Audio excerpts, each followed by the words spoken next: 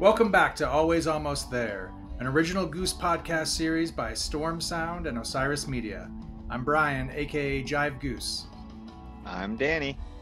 I'm Neil. I'm especially Kev.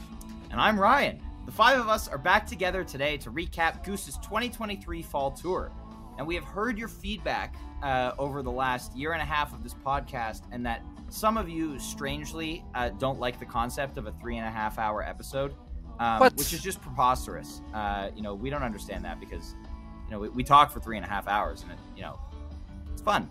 Um, but for your uh, listening pleasure uh, and easier digestion of our content, uh, we will be splitting this fall to a recap into two episodes. Uh, so you will have seen before you clicked on this uh, that this says Fall to a Recap Part 1. Uh, and so today we will be covering Boston through Cascade Equinox Festival. Uh, and Part 2 coming later this week will cover the remainder of the tour from uh, Oakland through uh, Fort Collins.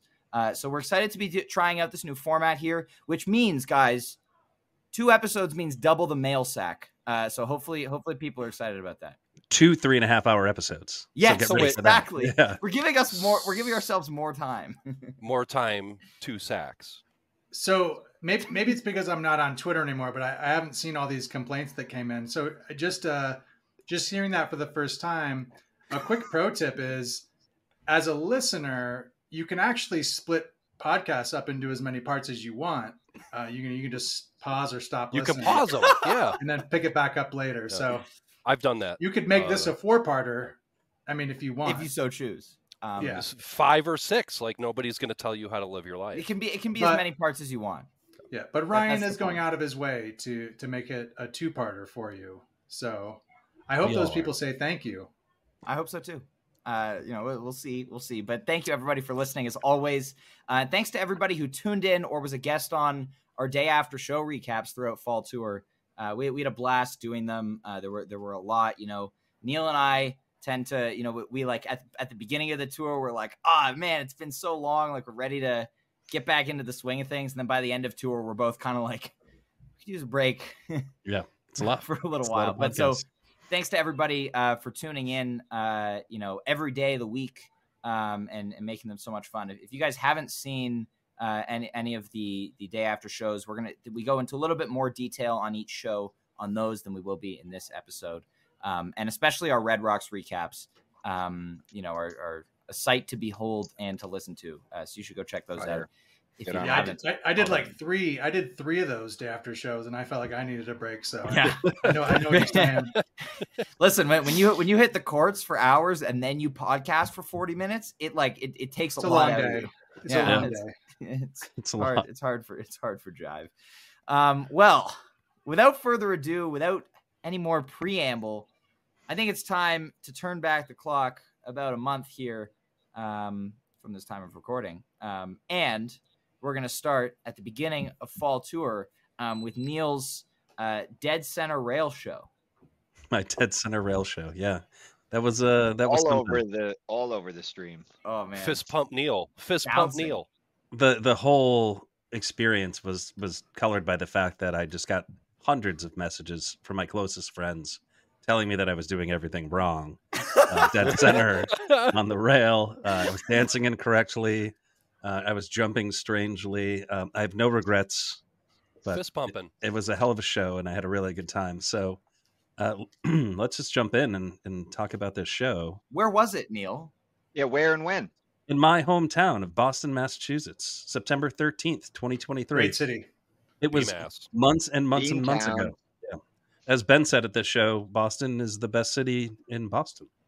Uh, and I think everybody who lives or has lived in Boston agrees true. with that. Even a Yeah. lot of us that don't live there agree with, agree Yeah. with that sentiment. Yeah, I can't I say mean, I anything was, more than I was that. a I was a North Quincy guy, so Is that still Boston for those of us that don't live there? no, it just means you have a shittier accent. And ladies and Got it. gentlemen, this this Boston trivia is why we split this episode into two parts. Now that there's Yeah. two parts, we have time for this. Yeah, we do have time for this. Yeah, because normally, normally, normally we we don't get off task. So it, to have this extra Oh, time yeah. and, and leeway to do this is Yeah. very refreshing. We're, we're It is. professionals here. This was at the Harbor Lights. Um, and if you look on elgoose.net, it will say Leader Bank Pavilion. No one who lives here calls it that. It is called Harbor Lights. It's been Harbor Lights forever, still is. Oh man, I saw some. I saw some great shows at Harbor Lights. What'd you see there? Way back in the like cheese, or like I, I did. I did see cheese there. yeah. I saw. So that I, I I think one of the best shows I saw there was I saw Panic there. It was it was nine seven ninety seven, and Branford Marsalis came out, uh, which was which was a, a nice treat. Uh, but yeah, it's it's it's a real. I love that venue. I mean, I mean, it's a killer venue that's only getting better over time, right? So, like, way back in '97, it was literally there was nothing else there. It was like it and the Harpoon Brewery next door, and maybe not even in '97. Maybe that came like a couple years later. But um, so there was nothing there at all. So going there was like really strange and scary. And then, like now, a whole city has gone up like around it, and it's absolutely, I don't know, it's a stunning upscale neighborhood now, which is Yeah, really wow. really got- weird. gotta- it's right on the you water. got a you got a clam shack right there. Yeah, exactly. Yeah, yeah. Well, you definitely have clams right next door. I will get to that. So, like, let me use where that as an opportunity to jump into the set Yeah, here. this, Like, this is a goose podcast. Oh, all right. So, oh. set one, we have a, a drive opener into Atlas Dogs, then a absolutely stunning butterflies that will just make you stand there in awe. Uh, then And- and time Neil to did. flee. Hold on, let me finish the set list here, Ryan. Uh, into Lookout Cleveland. Uh, heck of a segue there. Danger Zone into Zone. Jive Lee. Um, I mean, this everything was just going right with this set. It started off with quite a bit of Jeb banter. We got a we got a college right off the bat from Jeb, which kind of was thematic throughout the whole entire Set tour. the tone. And then Shout out uh, oysters. for no particular reason at all, we got a new boot goofing from Jeb, whatever that means. So, uh, but killer version of Drive with Peter on guitar through the entire thing, actually, which is pretty amazing. Um, and then we get the Flea, which was actually really, really interesting. You get a nice kind of chugging piano jam, and then this like weird thing tacked on to the end of it, which is like this like playful, almost like child nursery rhyme like jam on the end, which was really, really cool. And then you get an absolutely killer segue into Lookout Cleveland, which spawned the clams tweet. Because at this particular moment in time, the scent of freshly fried clams just wafted over the audience. And nice wow. you know, as I was like standing there, just like, you know, breathing in the clams, I just felt inspired and tweeted it. And it's a big thing. You know, Um, breathing breathing it in in Colorado inspires writing the song "Seekers," and breathing it Yeah. in in Boston inspires Clam you to go buy clams. Scent of fried clams and low tide. Um, so, um, but no, so uh, Lookout Cleveland was awesome. Again, I was there. You know, we don't talk about experiences much on the show, but I think because I was like literally front row center for the show, I should talk about it. Yeah, Um, so you know, when when Jeb started singing, I just kind of lost my mind and just screamed like "fucking get it, Jeb!" and like not thinking that the band could actually hear me, but Rick absolutely heard me and got like a huge grin out of him. So that was like pretty funny. Did you guys lock eyes? We didn't lock eyes. That only happens for Ryan when he's in the front row. To be Oh, man.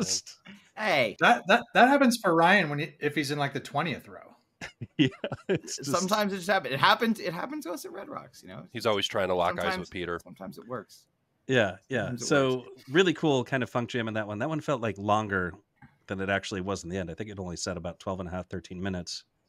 And then a really ripping flea or Lee rather to close the set. Lee. Uh yeah. Really, really killer first set. Also really cool thing of note here when we're talking about this first set. The time to flee, lookout Cleveland, danger zone was a nod to the hurricane that was offshore of New England at that point in time, which was really uncertain how that was going to impact everybody the next day. But luckily, the show still happened. Um, did. Yeah, this this is a this is a really awesome first set, especially coming off of a pretty much two month break from the band. You know, th- this was their first show um, after the end of summer tour. Outside of like, obviously they played for 50 minutes at Newport at the end of July, uh, but this is their first headlining show since SPAC. Um, you know, they, they had the Levitate Festival in the Newport, obviously in July, but th- this is it. And so we, I remember, you know, being so psyched for this for this webcast. You know, just like Goose is back, fall tours here, let's go. And they come out of the gate with this drive. um, which obviously not a bracket jam, 13, 14 minutes, but it did two things. One, it demonstrated that Goose is in fact back, and two, it demonstrated that drive jamming again at Peach was going to be a continuation uh, on this tour, and we are very happy to report the drive is consistently jamming again. Uh, so thank you, Goose, uh, for for fixing that. Uh, what obviously must have been a clerical error uh, for for the first you know few months of the year. Uh, you know, not jamming drive so many times. But yeah, the, the the rest of the set was great. You know, Atlas Dogs and Butterflies, great first set fare here. Uh, you know, as Neil mentioned, that Butterflies will make you stand in awe. And watching Neil on the webcast with the biggest grin on his face uh, So during good. Butterflies was just it, was very heartwarming. And the flea is really really cool.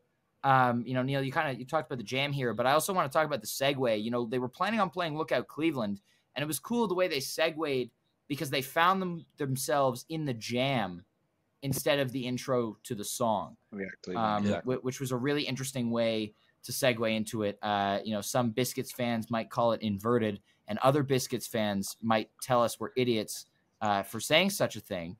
Um, But thankfully, no Biscuits fans are listening to this podcast. shout out, uh, first of all, shout out to, Hey, to friend of the pod, Jeff Hill. and Hey. second of all, Danny Rosewoods is most definitely a Biscuits fan.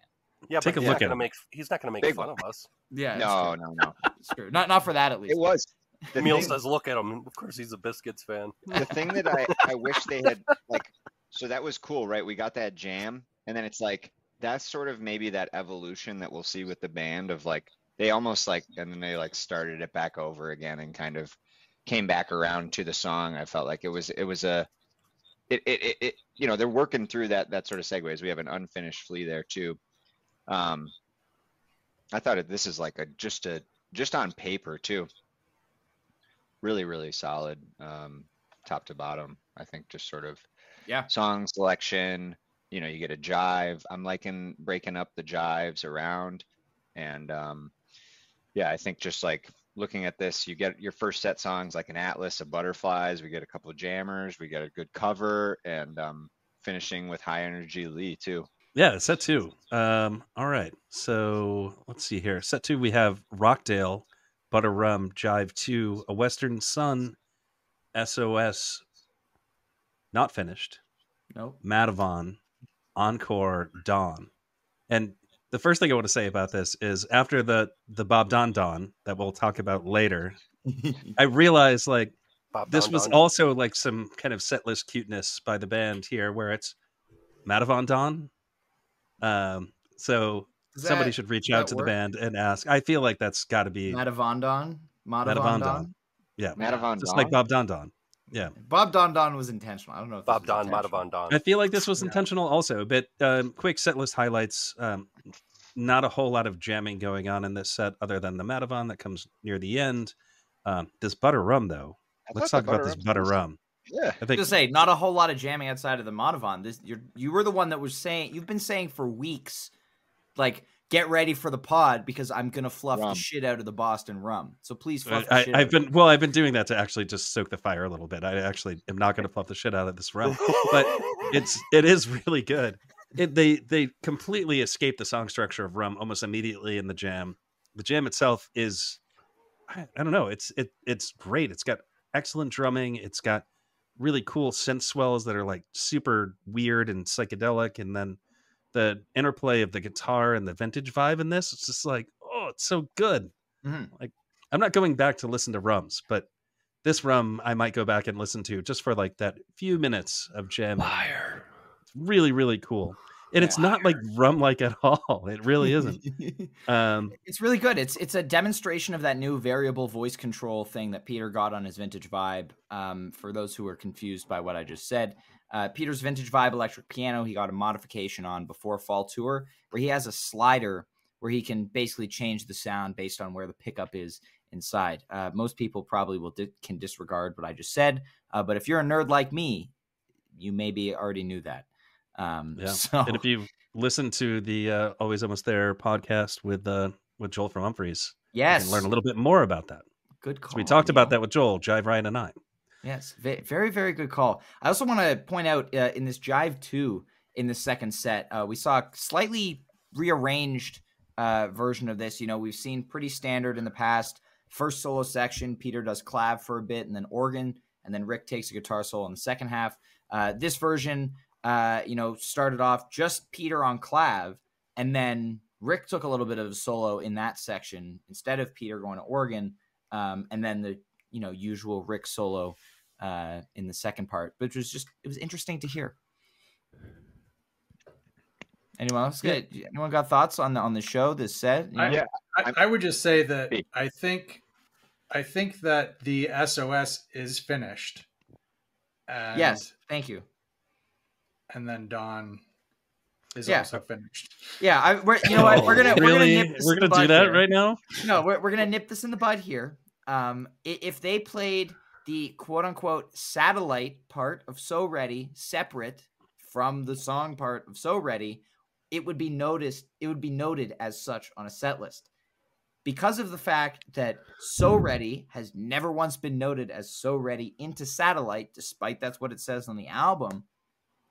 Like we're just So let me ask you this: If they opened the set with "So Ready" and then Yes. closed the set with "Satellite," yeah would Neil call the "So Ready" unfinished? no Yes. no And if they played it two shows later, what the, what would the show gap be? Okay, all right. We're, we're not there yet. I realized, I actually realized before we hit record that because I'm not at home, I don't have my visual aid uh, for when that comes around. But that, you know, we'll, we'll make Oh, do. don't worry, I'll, I'll post it later. Uh, I got it. Uh, but just so you know, uh, if a song gets finished later in the show or in the set, uh, hence the various echoes that have done that, um, it does not is no longer get noted as unfinished on the first one. But we're getting off track here. Does anyone else have any Yeah. thoughts? No, on, I've got some thought about thoughts about Madhuvan. Yes. Um, so again, I'm very close to the stage. The interesting thing about this Madhuvan is I don't think anybody was expecting this on this night. And if you listen really closely to the boards, like they start to play it, the crowd makes almost no noise, and then you can hear somebody say, "Let's fucking go!" And it's you. That is definitely Was that you? Yeah. yeah. Two members of this podcast made it on the soundboard this fall tour. Thank you. Oh much. yeah, dude. I please, was please do not aspire to to that. Please, Yeah. everyone, But anyone listening. No, like it that. was not intentional. I just was really excited. And uh, this Madhuvan is actually really cool. It reminds me a lot of the Cap Madhuvan that a lot of people really like. Yet Yep. this one doesn't get fluffed similarly, which is weird. Has a really extended free space segment in it, just like the Cap Madhuvan does, and really long extended outro. Um, yeah, you know, I was given the the amount of guitar playing that actually happened earlier in the set because Peter did play a, a ton of guitar in the set. I was kind of hoping for like more guitar and like having this be like a really killer Rick and Peter on guitar Madhuvan, but didn't happen. But I did appreciate the drone core into Dawn. That was really really cool. Um, and like I love the, you know, just Dawn as an encore is absolutely killer, man. It was so much fun. if you will. A But I Dawn like- Encore. I liked the set too. I think just like another one in terms of like on paper, great songs came out, kind of got everything, a little bit of every, a little touch of, you know, you get your Rockdale, Butter Rum, agreed. I remember us watching and then it's sort of like that, that song in particular is one that we're just seeing like left turns. It's like, here's your song structure and then it's just sort of pushing out, which is great. And we've, we've talked a little bit about that. Like Yeti is another song that sort of has taken off and kind of done some different stuff, which is good. So we like that.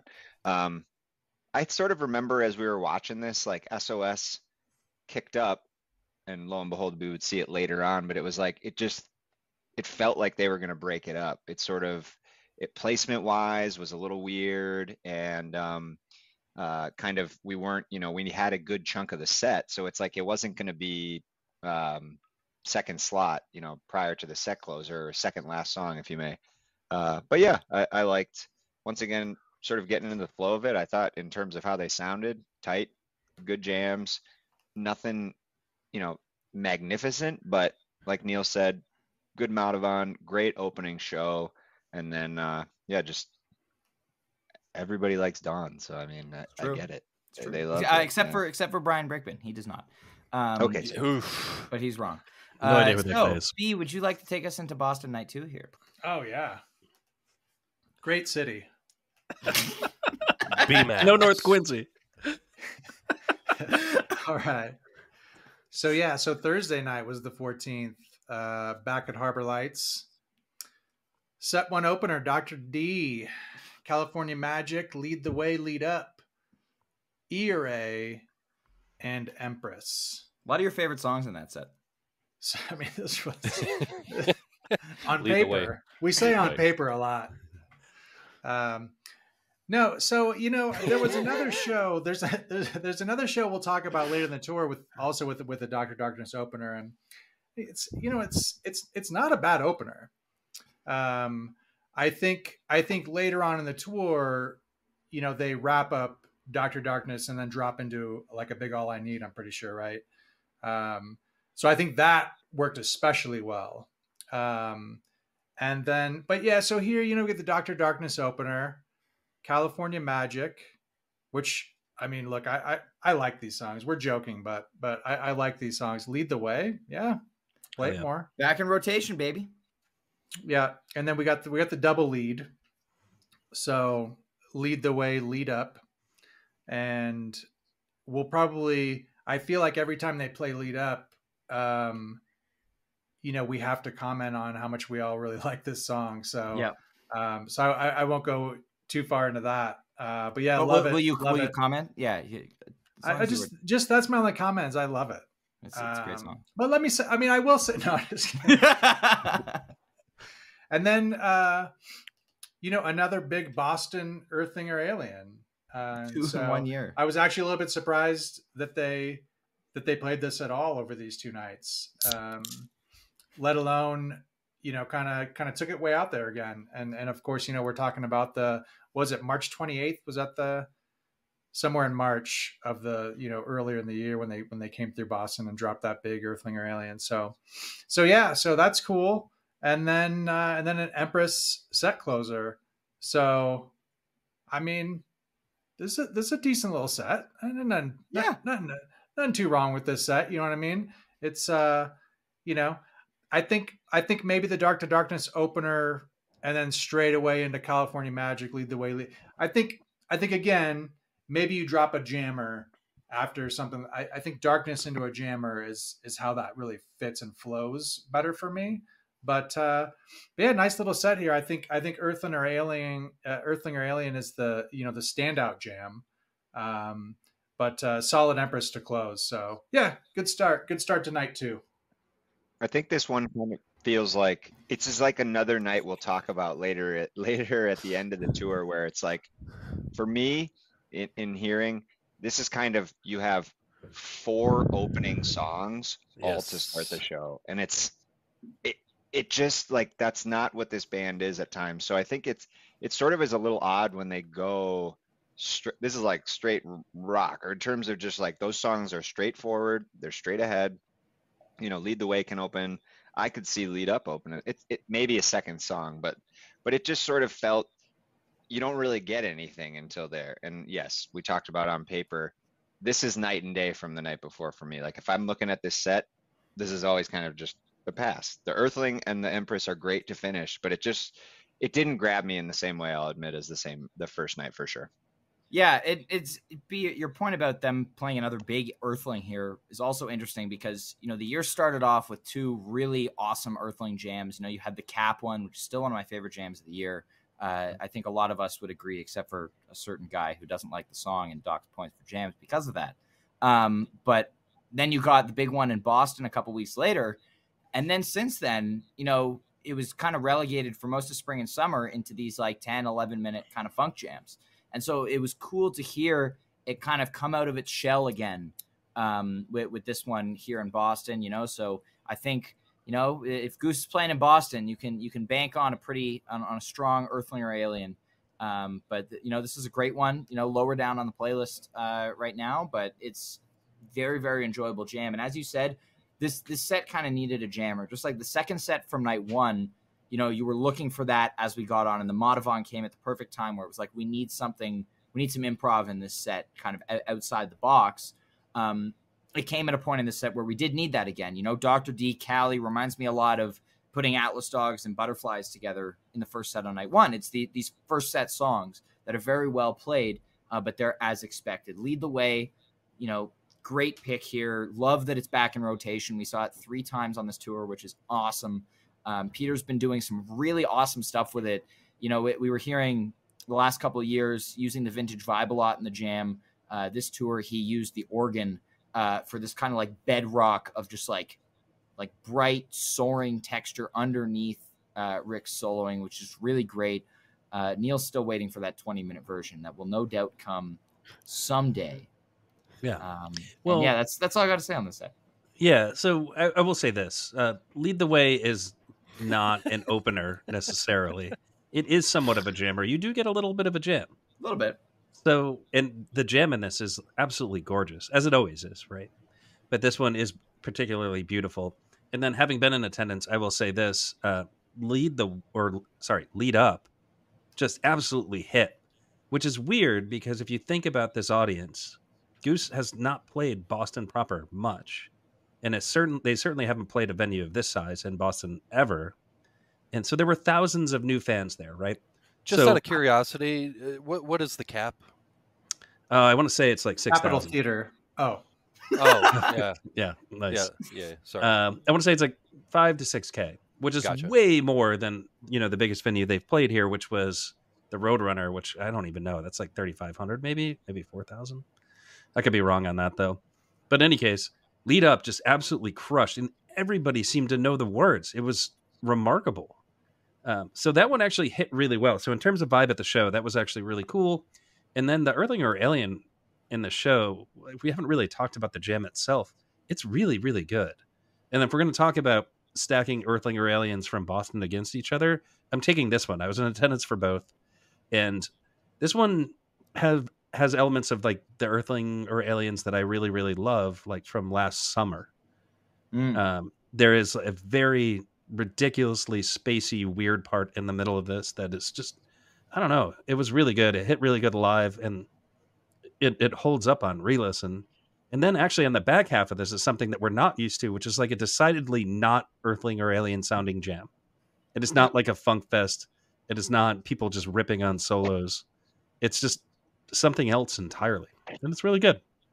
I think that's biggest when when these when this song can stay away from that structure, just Yeah. kind of passing it around. Peter Clav a little too much, more bit bass, and it's kind of this trading off, and it it's it's once somebody bends down. oh, Sorry, that's sounded. Somebody leans down to their board and maybe starts tweaking with some some effects. Some knobs, working knobs. Yeah, knob knob twi- knob Knobbing. twisting does Knob. this song very well, I think, and it it just it needs that. It's sort of it, it it's either going to go two ways. It's sort of like you said, Ryan, 12 to 13, 15 minute stock, or we're kind of going to get a little exploratory. And it was good to see it break out of it. Yeah. Yeah. Yeah. All right, uh, B set two. yeah. Good I actually set. don't have. I, I don't have either Boston Earthling or Alien on my playlist. Just I think Hmm. Cap is the only one that made my playlist. But And you have it I'm lower than it should be. Yeah. The whole world is surprised. We appreciate the Yeah. I think I, I think when I think when Peter said mostly the plants, I I I- I started docking those Alien jams. You know what I mean? I just As I- I a took conscientious vegan, I understand. Yeah, yeah. I yeah. took offense, yeah. But he's back to only, so I don't know. Maybe I need to take a re-listen. Okay, so set two, we got the the all I need, Which one? not the not the slow melodic Fast. version, not the fast version. It's but it's a tribute. It's a tribute. It's not even the, it's not even their all I need.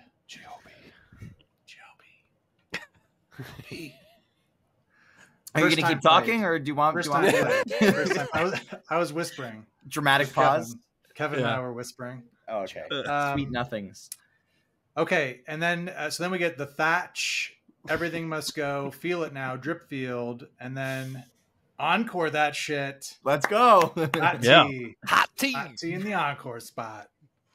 This was that that was a that was an encore that shit. By the way, approved by Rick uh, on the day after show. This was the day after show where he made an appearance. In, Uh, the, in the towel, right? He was in Yeah. towel. Uh, no, he was just shirtless after playing Oh. frisbee. Um, but he Oh. he very much enjoyed the term I was- encore that shit. Uh, just was like to, just like to put that out there. I anyway. down. B, sorry. Is that a can? Is that a is that a candle? So real quick, real quick, uh, my thoughts here on this set. Um, great set. I'm not a huge, huge fan of this cover. I got to be honest. I mean, I, I'm that that's just it is what it is. That those are my thoughts. Um, give me Not a uh, so DJ there's guy. three so there's so, so there's three all I needs now, and in my opinion, there's only one they should play. So um, The fast one. leave the other Yes. two. No, you got to play. You play the slow one. There's a reason Nah. that, that the fast one got got benched. Um, I know. Shelf, I know, I, so know. so I yeah. like the fast so, one. Uh, like but that's cool. too. Hey, look, it's it's cool that they have a relationship and they and they you know they're they're doing these things together. So uh, good and stuff. that's good stuff. LP Giobbi that recently worked with Taylor, Taylor. Swift, right? Yeah, that's a it's a big deal. It's amazing. It's like Yeah. Goose is almost related to Taylor Swift. Yeah, it's gonna Yeah. be a world tour. Yeah, Yeah. They, they're gonna have a they're gonna have a 15 minute set uh, where they're gonna play California Magic, Silver Rising, and Atlas Dogs every night. No, go. they play lead up. They'll play lead up for sure, sure. Yeah, you're right. That's California true. Magic, Silver Rising, lead. up. Okay, so Anyway. so this so this thatch is really really good. Yep. Yep. Um, Yes. I, I want to say um, that I have this thatch fairly highly ranked as far as as far as fall thatches go. No, but even there's so many good thatches that we're going to talk about um, tonight, and then the next day, the separate day that you listen to part two. But this one, or whatever you time it out to be. Could be the seventh day. yeah, yeah. So this is thatch number three from this tour. Uh, third place thatch for me. Uh, but this is a really good one, and it goes to some really cool. They break it down um, to take it a little bit dark, spacey. Uh, really, really like this version. Uh, reminds me a bit of of, of the Warfield uh, version, which I think the Warfield version got a little more funky. Um, but but they both went to kind of some similar kind of uh, broken down, slow spots. So so yeah, really really big fan of this Thatch. Highlight of the set for me.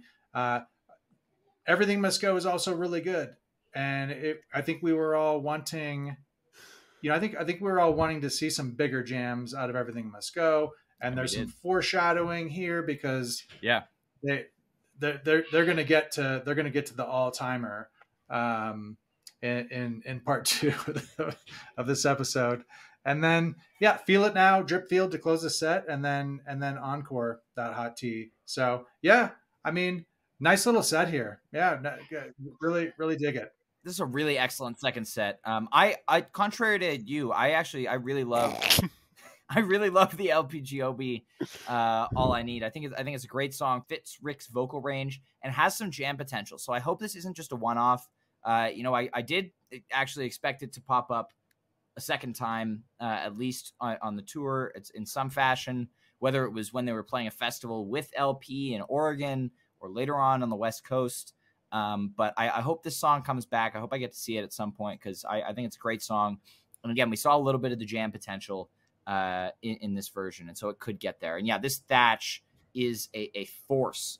Uh, you know, they they come out, they come out. It, it's amazing. You know, really awesome synth textures from Peter in this one. Uh, just really working that Prophet. Um, but it, Hmm. it's it's amazing. And I actually I had this a little bit lower. I hadn't listened to it in a couple of weeks. Um, I've been you know because of the the one that will come a little bit later. Um, but I, I went back and listened to it this morning, and I was like, oh, I have this much too low on my playlist, and so it moved up my playlist this morning. Um, and I'm probably gonna go listen to it again later because it's really really good. Um, just dark, EMG's beginning right Yeah. here too. and and yeah, right. everything must go. You know, we we had the version in Asbury Park uh, that was really good earlier in the summer, but this one again, vintage vibe. This- Continuation, This, sorry, this Boston run was the two nights of the vintage vibe. Peter was really enjoying that new variable voice control that I talked about, but it sounds great here. Aggressive driving groove. I love this song. I love this jam. It is it, it at this point. This is one of those songs that works anywhere in a show. They're going to start it, and I'm going to be excited about the song that they're playing and the jam that we're about to get. And it can finish with a bang. You know, we'll hear a set closer later in the tour, but everything must goes awesome. And then th- this set just an encore, just you know, perfect. Feel it now, drip field, hot tea. Put a bow on it. Done. Yeah, I mean, Yeah, set list I would construction wise, it doesn't get much better than this. And like new Goose, right? This is new as of the last, you know, year and a half, basically. Oh yeah, every song. What you would And think of tea. in terms of set list structure, Yeah. and then like so, you know, the the LP Giobbi All I Need, I think is like pretty good. I don't know if it's like a second set song, but I do love it. I think, like you said, Ryan, it fits Rick's vocal range. I think it actually does have potential to jam. it does a couple things that I think are like pretty exciting. Um, and yeah, I hope they play it again. They didn't play it for the whole rest of this tour. I'm I was expecting this to be played again because it's certainly it's not done, right? Like they didn't show up and like this is the final version of this song. This is the one that's going to be like written in stone. So I think they put a lot of effort into the song. They recorded it. They certainly sound checked it a ton of times because I heard it. So they sound checked it at Portland. So I mean, you know, I hope they do play it again. I hope they explore where they can take the song because I think it can actually be really cool. And To- I'm like just shocked they didn't play it like at some of the festivals that they were at. It just Yeah. made sense to me that they would. Um, and just real quick before I, I kind of finish up here, um, this Thatch is great, and I really loved it at the time. This first like part of the tour, I thought it was the jam of the first part of the tour, and I think the interesting thing about this Thatch is that it is like a midpoint in between the thatches that we get later in this tour and the thatch that we got at SPAC. And you know, this song has been having a, an incredible metamorphosis over a short period of time. From you know, just a few months ago, it was just a, a short kind of funk song that they played and jammed into the middle of a set, and that was it. Then you got like a 20 minute version out in San Francisco. Then you got what we got at SPAC, and then you got this, and then this was kind of the the jumping off point for what we're getting later on in this tour. And I, I don't know, it's just I, I think this is a notable version of this song because it is it is it is on that trajectory of where the song is going. So yeah, I, I think it's really cool. And then of course everything must go again when we're talking about trajectories and things growing. This everything must go, I think, is on that whole trajectory with the everything must go from Asbury Park that Brian that you said and then it just keeps getting bigger and bigger until we get an absolutely astonishing version later on down the road. The drip field that ends this show is is really really good. It's fast, uh, and it's it's got energy and it's short, but I really It's enjoy great. this drip. So Thank you, Neil. Kev, you had something to say there? Oh. Uh yeah, uh I just wanted to make a quick comment about the LP Giobbi All I Need. Uh talking to fans that you know, they don't listen to Goose like we do. They're not dissecting and analyzing jams so on and so forth. That exists. It can be a divisive song. Like a love, you love it or you hate it sort of thing. Uh, I'm kind of in the middle, uh, and I would like to reserve judgment. A lot of what Neil said, I wanted to actually agree with while he was talking to it, and I didn't want to bring the conversation back there, uh, which is why I was trying to jump in when I did. Uh, sorry, Kev. but I love the fact that they're taking chances. Like that is like the essence of what I I I will continue to love about this band is them doing something like this, this collaboration, and taking chances like this that might upset some of the established fans. Uh, you know, but it, it it- it's that that sort of risk taking, chance taking sort of thing that you want to see from this band as it continues to grow, as it hits you know these next next phases of who Goose is going to be. Absolutely. Very very well put, Kev. Uh, let- I let- appreciate the time. Thank you. Yeah, I yield the my- rest of my time. let's uh let's let's move inland a little bit here uh to Borderland to the ge- Festival. to the to the gentleman from Toronto. Thank you. Uh, to Borderland Festival in East Aurora, New York, just outside of Buffalo. I was there. Uh, this was this was a very very Toronto. fun festival.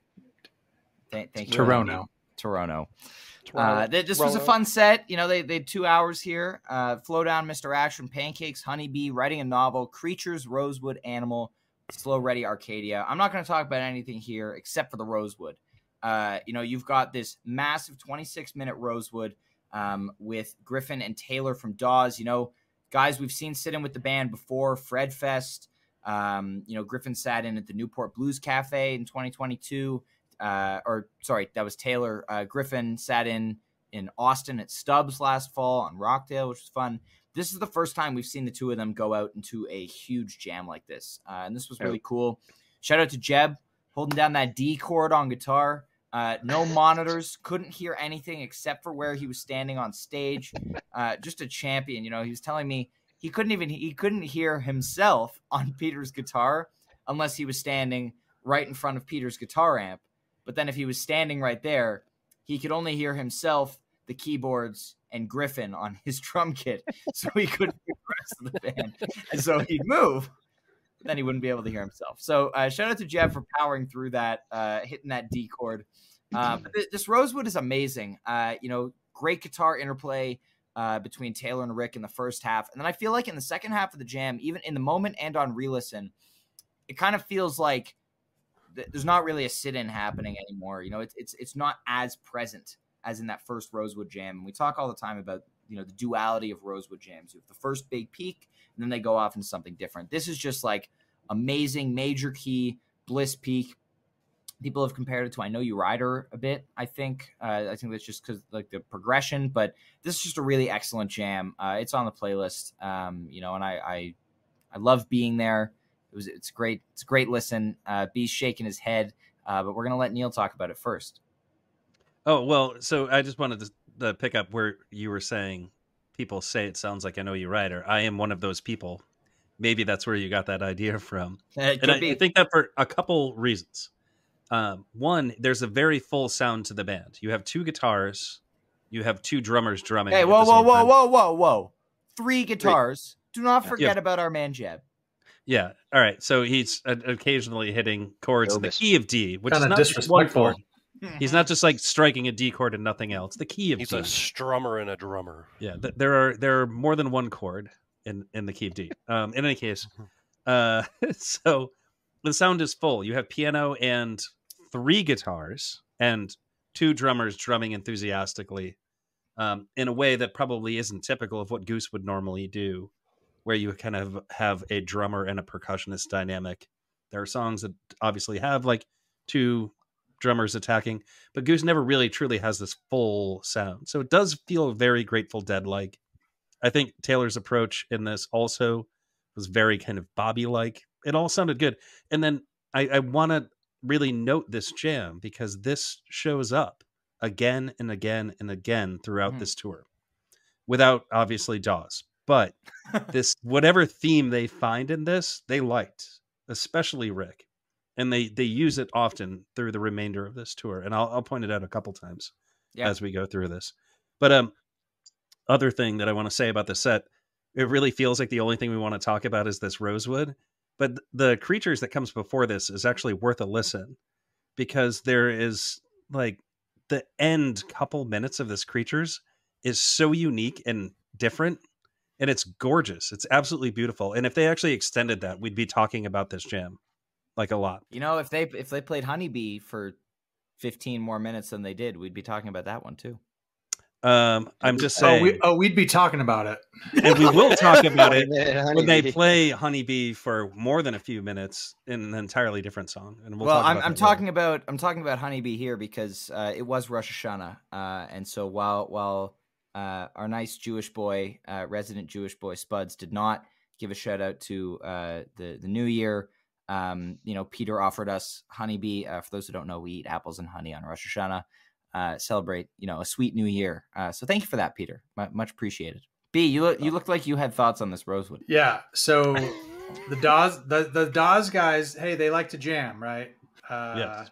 we learned that. Apparently, Yeah. So you know, I think it's I think it's a great jam, um, but it's it's Not just and, and at this point in the tour, I mean, you know, th- there hadn't been a there, there hadn't been a you know very many um, you know really big jams. So so you know, it was kind of on the playlist there as I was collecting my fall stuff, and but it just kind of continued to fall, and and I and I like it. I just feel that it uh, you know it kind of it kind of stays kind of stays pretty pretty straight for the most part. And and I think you I mean I think you kind of would expect that with guests. I mean, you know, they're definitely they're definitely improvising, right? Um, but I think I, I think with different guests you'll see kind of different different levels of you know kind of kind of how far out there they're willing to go or or how far out there maybe the guest is is willing to go or push things you know when when they're out in front so so yeah so i just kind of felt like for the length of this one i i wish maybe it would have they would have just taken it out there a little bit more. I think i think that'd be really interesting to see um you know with with another guitarist on stage right? That they, we're not used to seeing out there. I'm not talking about jeb you know um but but yeah so so that that was really it. Um you know otherwise i mean certainly, I think I think this is this is a, a, a pretty festy set, which is what we expected. So, um, and and Neil's right about the creatures. I mean, it actually it, it does have it does, and and that's something that we see from creatures a lot. Frankly, you know, it's you'll you'll get 17 minutes of ordinary creatures, and then and then they'll go somewhere, but then they end it. You know, and Yep. that that might be the one that might be the the the song the one song they do that the most. You know what I mean? That they they they give you a couple minutes, you know, two or three Blue or four balls? minutes of something, and then you're kind of left maybe you know wanting a lot more. There we go. Yeah. Thank you. Uh, anyone else got thoughts on this before we uh, head to uh, the show Ohio of Michigan? It's a great set. Uh, festival wise, it's a great set, right? They're and again, like they're just, uh, you know, B was talking about collecting for his his his Jotty bracket.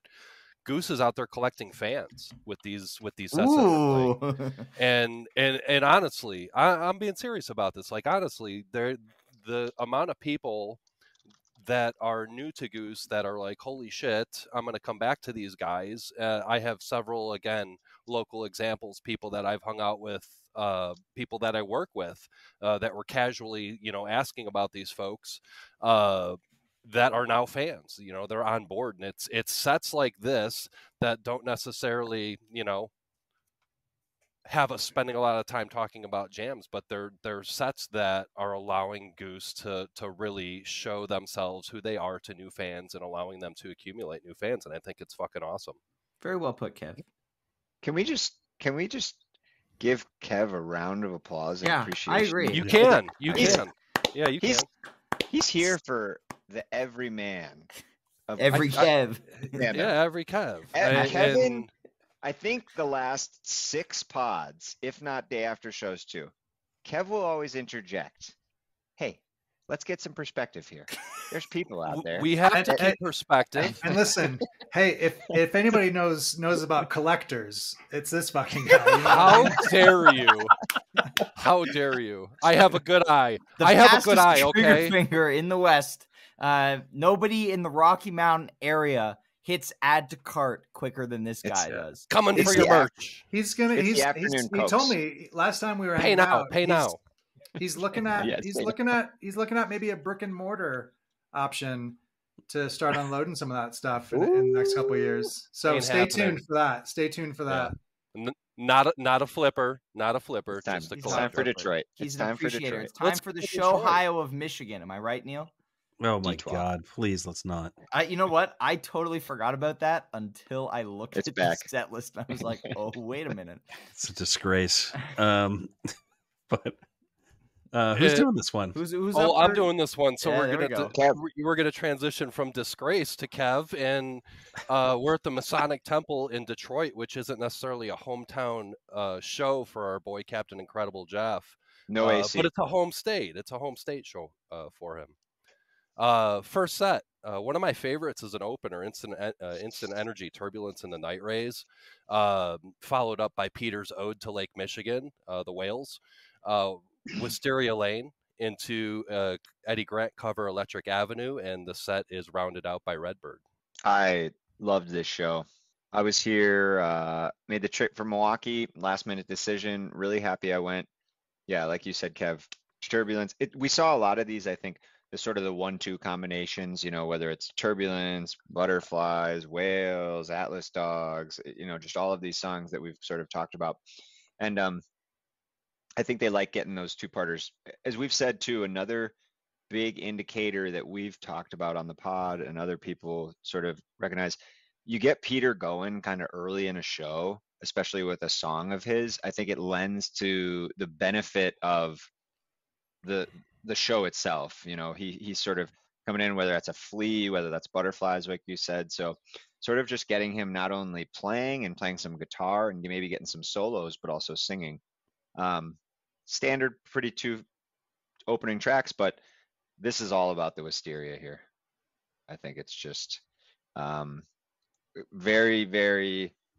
I mean, I was a little surprised to hear it. I'll admit, start up, and then the way it just kind of took off. Um, you know, it's got it's got kind of it's got some some good moments throughout the middle of it. I think the jam in and of itself is is good. It's it's it's maybe great. It's not sort of outstanding, but a lot of people um, tack on kind of this last little four to five minute section um, where Peter kind of jumps in and takes over on the keys and kind of gets playing.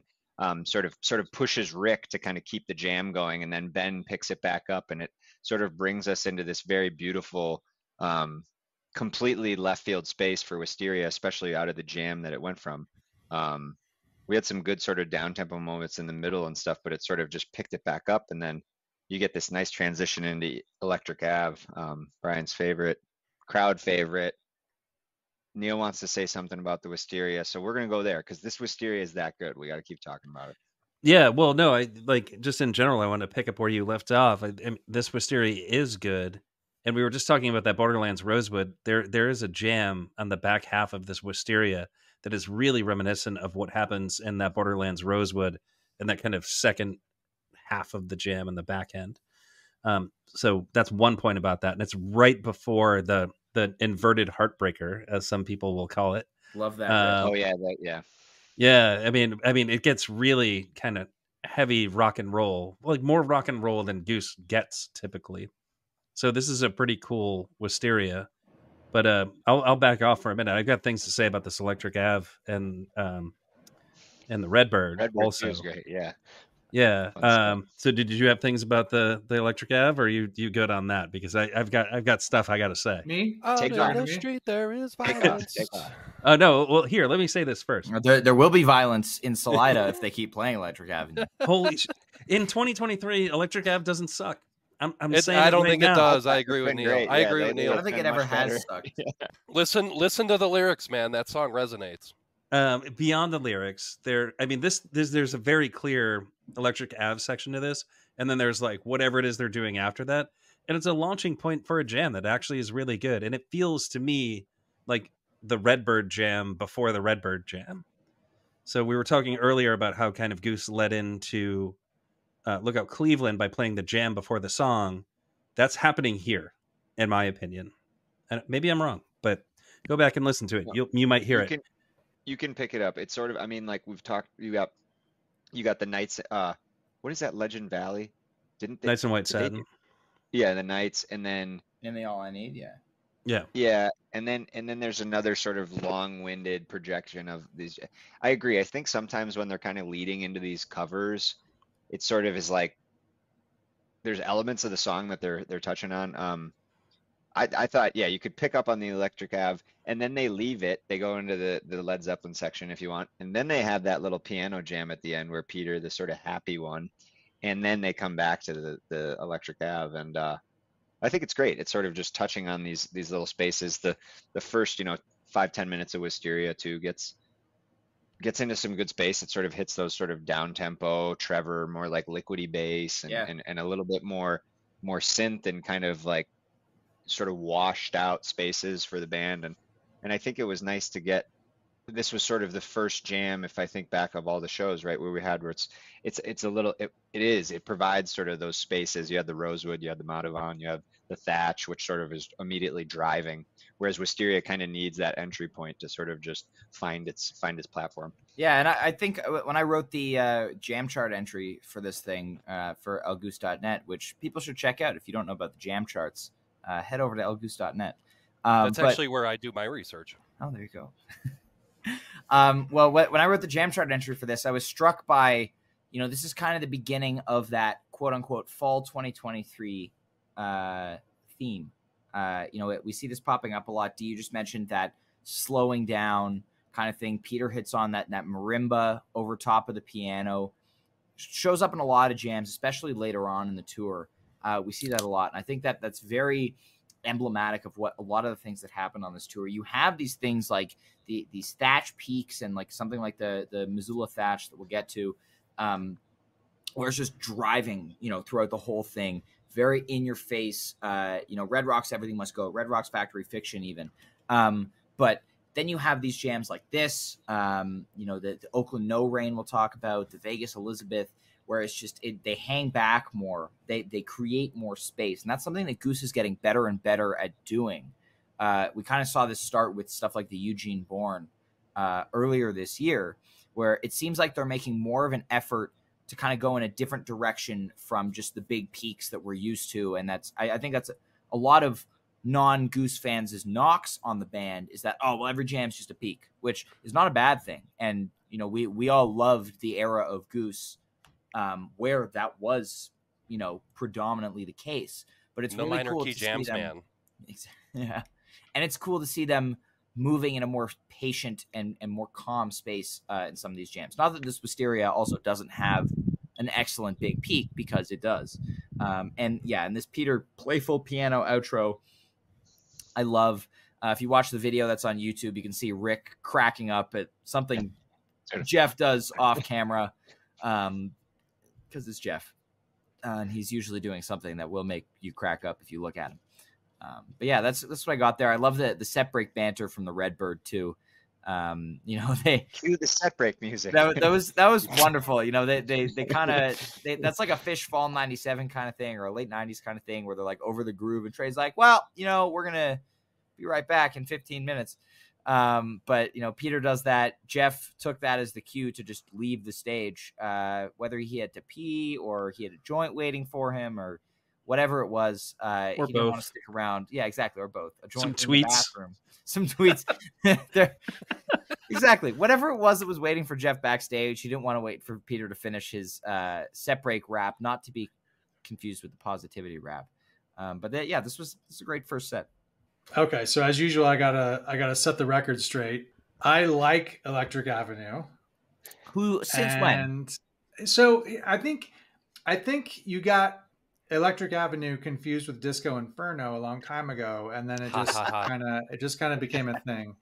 Um, Not, not, not. I I and and I'm actually yeah it, it it's it it could lead into a real smooth jam, and and I'm often surprised that we actually haven't seen more big jams come out of it.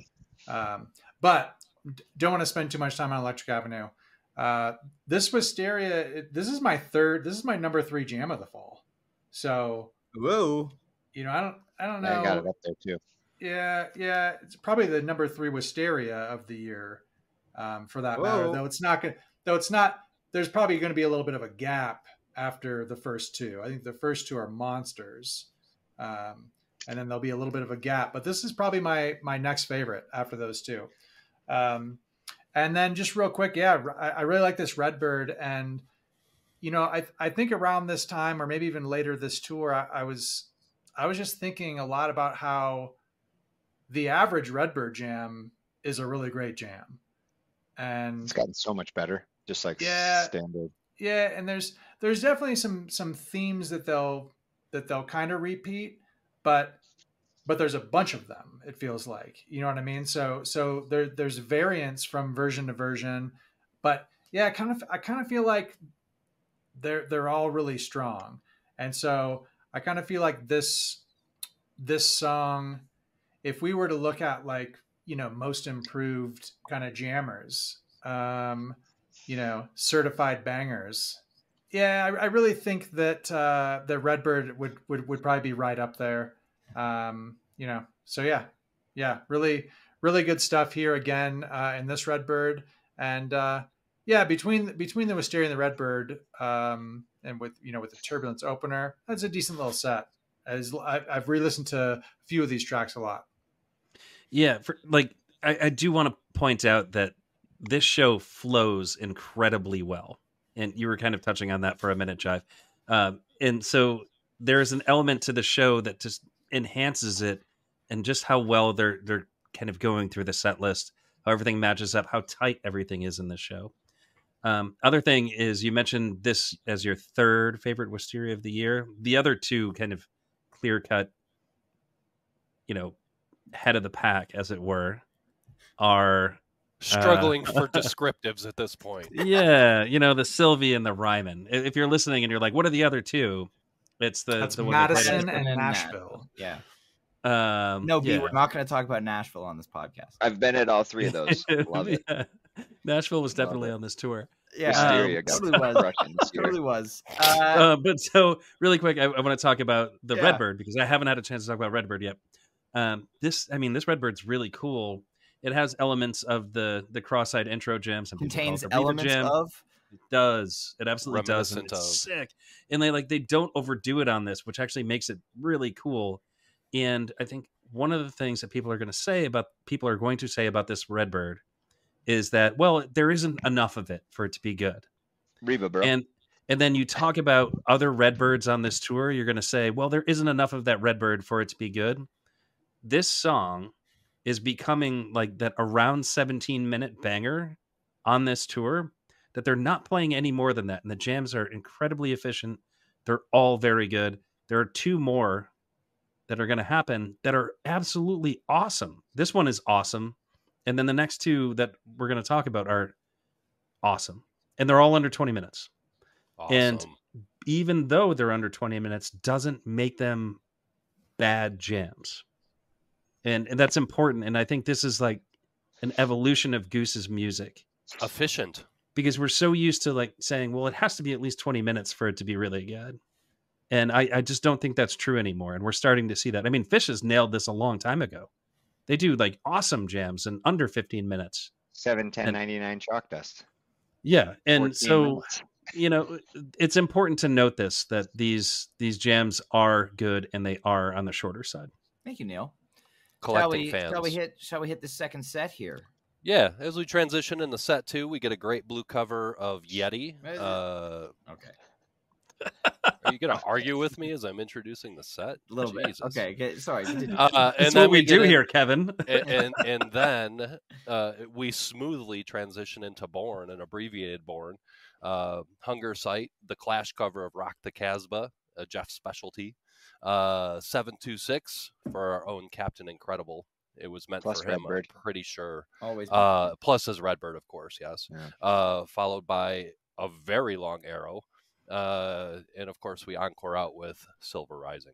I, I mean, I'll, I'll kick off the set.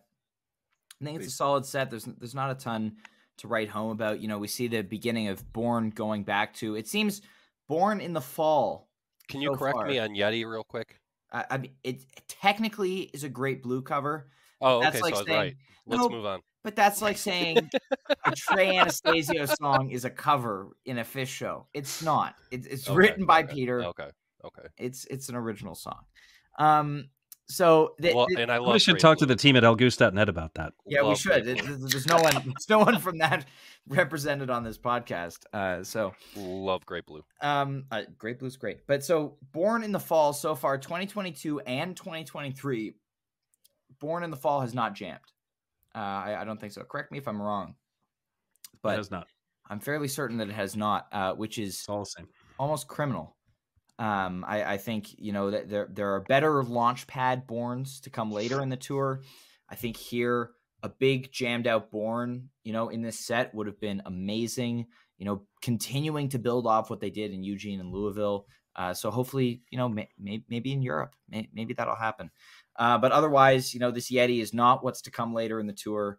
Um, this hungersite is solid. Uh, yeah, actually, you know, it's shorter version. There's going to be another one around the same length, a little bit later in tour, that is definitely uh, much better.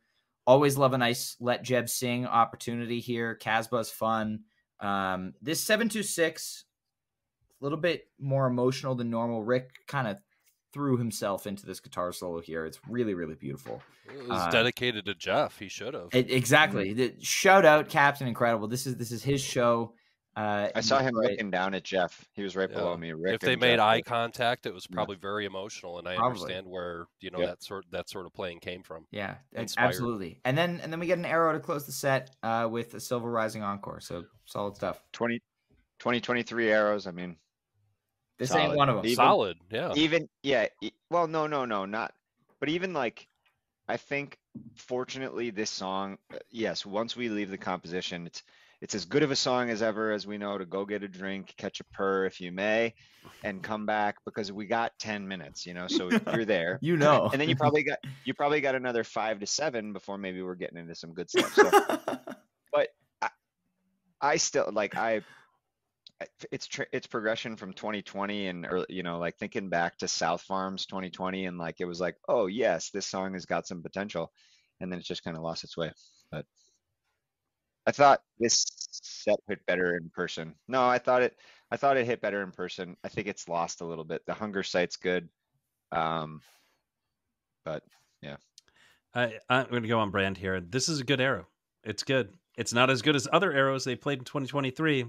It's not a bad arrow. I'm not. I'm not I won't Arrow's hear fun. such nonsense or tomfoolery. It's like you know. I'm- I mean, I'm okay. arrows are good this again. year. There, there's no Yeah. like skippable arrows. That's don't think. debatable. I mean, if you stack this against some other arrows, maybe from this year. Um, Yeah. But jeez, There's, there, you Um, know, I so- th- there's something special about the looks that B gives Neil when he's talking. well, see, well, we're Did not you know they agree um, on everything.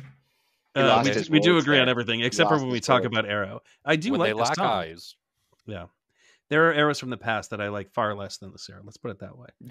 Um, also, the slide guitar is back in Borne. That's cool. Yes, Woo! that is true. really cool. And Peter didn't mess it up as. Sorry, that was another one. It was another one, yeah, for sure. Yeah. We're gonna talk about that. yeah, sometimes that happens. You know, you got to pick up a slide. Playing we slide did. I guitar is remember hard. that. I was watching. I, I I remember writing you guys actually while Borne was there, and it hadn't hit because Ryan hates when I when I. Uh, spoiler, like the split open. Hey, there's a buffer, man. Thirty second I second know. No, buffer. it's- Is the it's webcast is behind. Respect the buffer. But I did. I remember saying I was like before it even happened for you guys. I was like slide. you were like yes. It's exciting. Yeah. so that was good. It's Yeah, so that's exciting. But like like others, I'm left wanting for all of the other amazing different types of air, or bornes that are played. Right? Like play the synth build, jam it. Like I mean, like fast. Slow, I mean, like just pick one. Um, just not this one. on. Yeah. Yeah, just put a jam on it. Like I don't know. Like You don't. You don't like so the, good. the. You don't like the quick play. Here's Borne. All right, we're gonna move on. I I do agree that like Goose needs more shorter songs to kind of throw in here and there. This This one one I of 'em. just like too much. Yeah, it ain't it. Mm. It's too good of a song to just do it That and it, walk babe. away. And, and I will say again, that there are times when the Borne Hunger Site Launchpad segment works. There are Yeah. times like this where it feels a little bit lackluster, where where it's like you Yeah. know would have liked to jam out of Borne here. We could have jammed Borne and gone somewhere else. Exactly, exactly. But the, Well, and then, you and then you, you get you get the borne hunger site, and and so you know you're you're you're getting super stoked for that drip. well, what they and just played sometimes it you get two shows. Yeah. earlier. And then Yeah. Sharif don't. And, and then Sharif don't like it. Yeah. Yeah, Charisse. Other notable like thing about the show before we move on, Mhm. uh, which I thought was really funny, is like at the encore break, break, Peter was like, "It's like you know, look at that little kid! Shout out to the little kid in the front row!" And he's like, "Hell yeah!" And then I think he caught himself like right after, where he's like, Yeah. "I probably shouldn't have said that." Uh, I don't know. It's really good. I thought Making Silver so good good encore too. But Yeah. um, Well, D, and then we made our way yeah, take us to Milwaukee. the hometown boy. Milwaukee. First first Milwaukee show for the band, which still surprises me. So we got September 17th here. Um Where? it was uh, it's in Mil- Milwaukee, Mil- no, but Wisconsin. what, what venue? That's very important to the the narrative of this show. I will. Yeah, the Miller High Life Theater, which, oh boy, did this become a theme for the show. So actually, actually, this this venue, first time ever here. I grew up. Uh, for those who aren't aware, but obviously it's obvious. I'm from Milwaukee. Uh, grew up here. I've lived here, you know, 25 years more or less of my life of 35 years, and um, this was this was the first time being at this venue. I'd heard of it. Uh, it's the Pabst Theater Group who owns Riverside, Turner Hall, and the Pabst, and um, puts on great shows for Milwaukee. Brings some great acts, and so it was really weird to see them jump, obviously, to the largest venue of this of this uh, management group. Um, promoters and so it's about 4200 i think a um, lot of renovations put a lot of money into it really really nice space like you walk in you got like an art deco 1980s or 70 70s like lobby style lounge with like leds huge bar i mean Jesus Christ, ever, D, I feel like I'm fucking there. dude if there was ever a space It's called I've heard painting a rumors- picture, Kev. He Yeah, and yeah. he's doing it. Jesus. if there was ever a s with stairs going up both sides, Kev, like it's legit.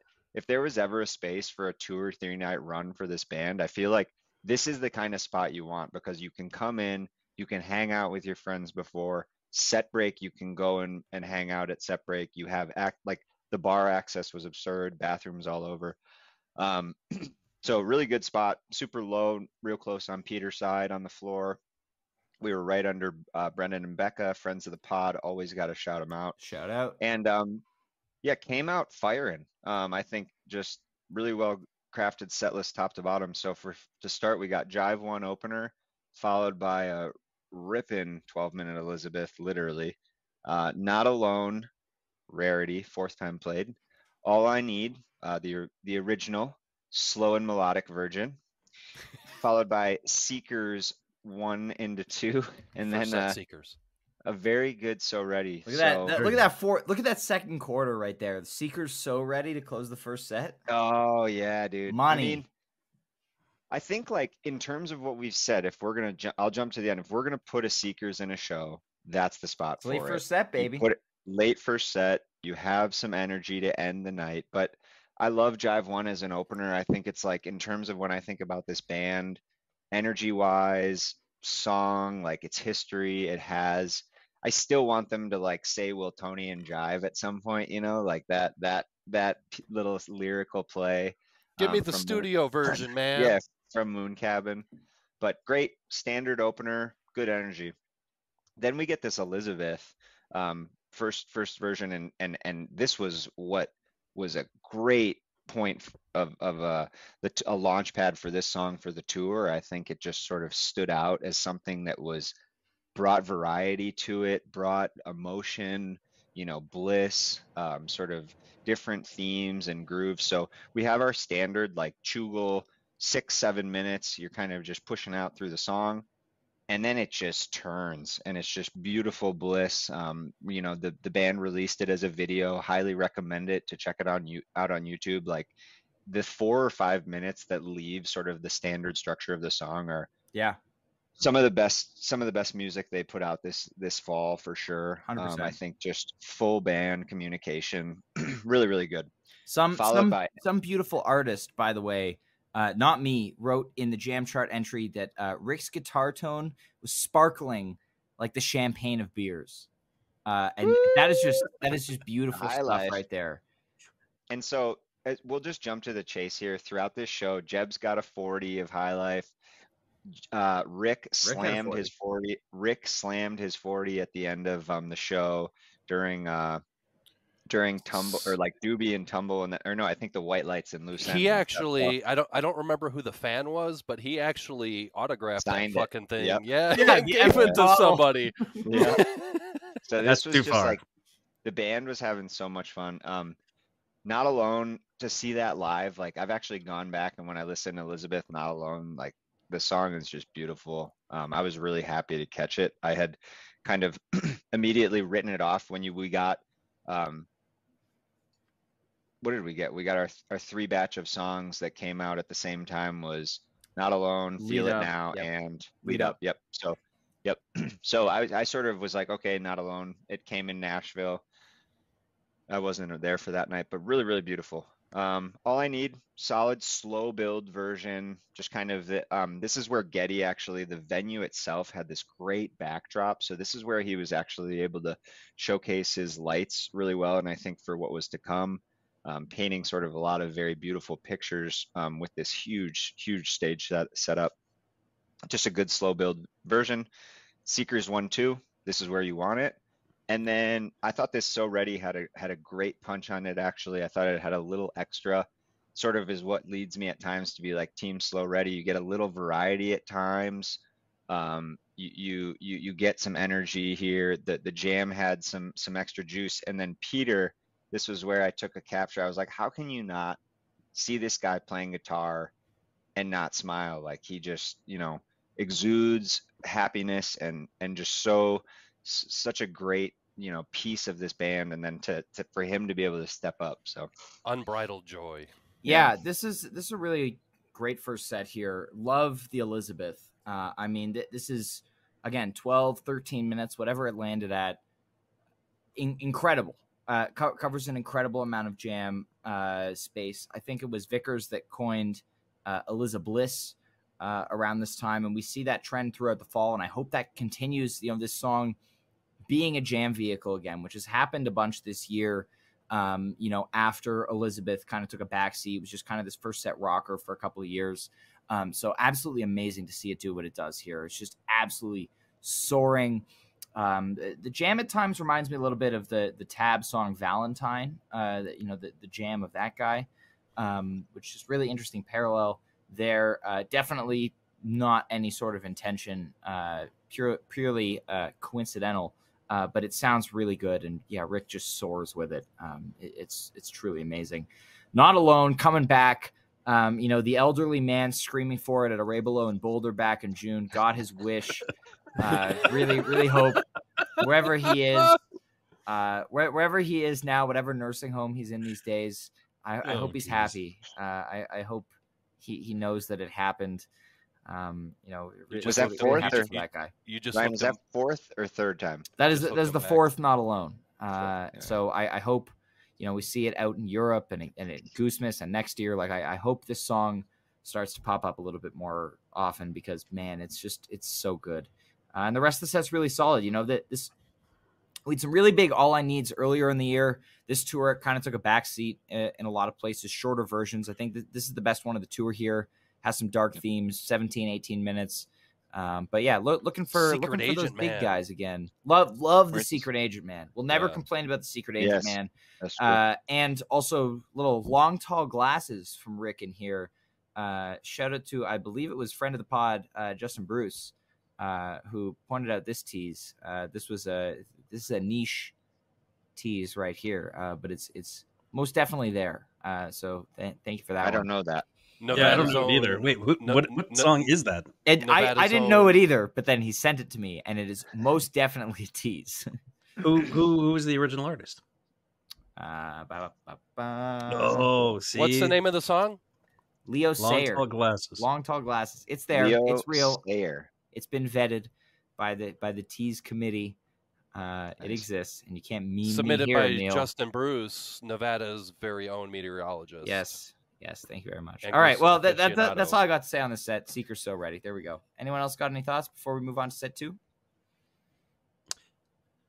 Chive, go for it. I he leaned forward, guys. Jive I, pause. I really like Not Alone, uh, but I'm not elderly. Debatable. Just middle aged. Middle aged. But I did, I did feel like the band needed to know that the, that the fans want this song. And so at Arevalo, just kind of kind of seized the opportunity. And I mean, I feel like maybe I got results. So came back. Let's get it. Let's get it more. Let's see it more. Yeah, Jive gets results. Let's keep it going. People, people, this is such a great ballad. Like, yep, it's it's beautiful. You know, yeah, it's the, so you know uh, like so arise you know is, is, another now i think arise just really hits really well with the rebelo and and it just did not as much with goose for whatever reason but not alone this this is an incredible ballad it it kills live in the full band setting at a big show it's this is a great song and and honestly this is this is what if, if I go through their catalog and look at like total times played, this is definitely going to be one of the ones that I'm saying, come on, you you get you get you've get you're missing out. Uh, you know, you should be playing this more. So anyway, that's all I'll say about Not Alone. I love it. Yeah, not much to add there um, on the Not Alone thing. Someday we'll get it in the second set cooldown slot. You know. Oof and so good. I think it'll crush there. I think it belongs there. It'll be great. This Elizabeth, really quick, something that hasn't been said. If you go back and listen to this Elizabeth, you can hear this. And maybe you can't hear it until somebody points it out to you, but Ryan and I were talking about it earlier. There are elements of, and I'm, I'm shocked you didn't pick up on this, Daniel. Um, Dragonfly all oh, over oh, yeah. this thing. Yeah. Like he plays like two vibes, and three, mind you two and three note snippets. No, not vibes. Like he is actually playing two and three note snippets of Dragonfly and then changing the notes like right after. When I say he, I'm talking about Rick. Um, but there are fingerprints, not elements of Dragonfly all over this thing. He just It's never like Steve finishes the Aoki riff, or Yeah. he's like playing something else, and then he adds part of the riff to it at the end. Um, but I do go back and listen to this, Elizabeth. It is special. It's different than the ones that follow, even though those I think are, you know, quote unquote, better versions of the song. Uh, it's I don't know. I love this Elizabeth. I think it's really cool. This pairing right here is the the centerpiece of Yeah. the set. This Elizabeth alone, so so good. I feel it's a great counterpoint to lead up to. Like honestly, if you think about that song versus lead up and energy, it's sort of like you could have a second song lead up in a set and a second first set and then second song second set after a huge jam not alone. And that would just be like a Rick like just dropping it all over a show. Yeah, so much emotion. Um, man. So good. Yeah. So yeah, second set Set two, baby. opens opens up into the mist into Echo of a Rose into uh, Take on Me, a-ha's version. And then we do have a Bob Don elements of with Elements of width. I like that. elements of Oh. with. And We were told we were told that it was with. Yeah, yeah. Into uh, and then into Doobie song, and then into a good little rip and tumble. Um, yeah, I think just in terms of flow of a set, uh, into the mist, great version. We we you know get a jam out of it. Um, we don't get our our ending obviously because Sorry, we B. transition we transition into Echo. But um, I thought just like flow, you have three, uh, two three song combinations here.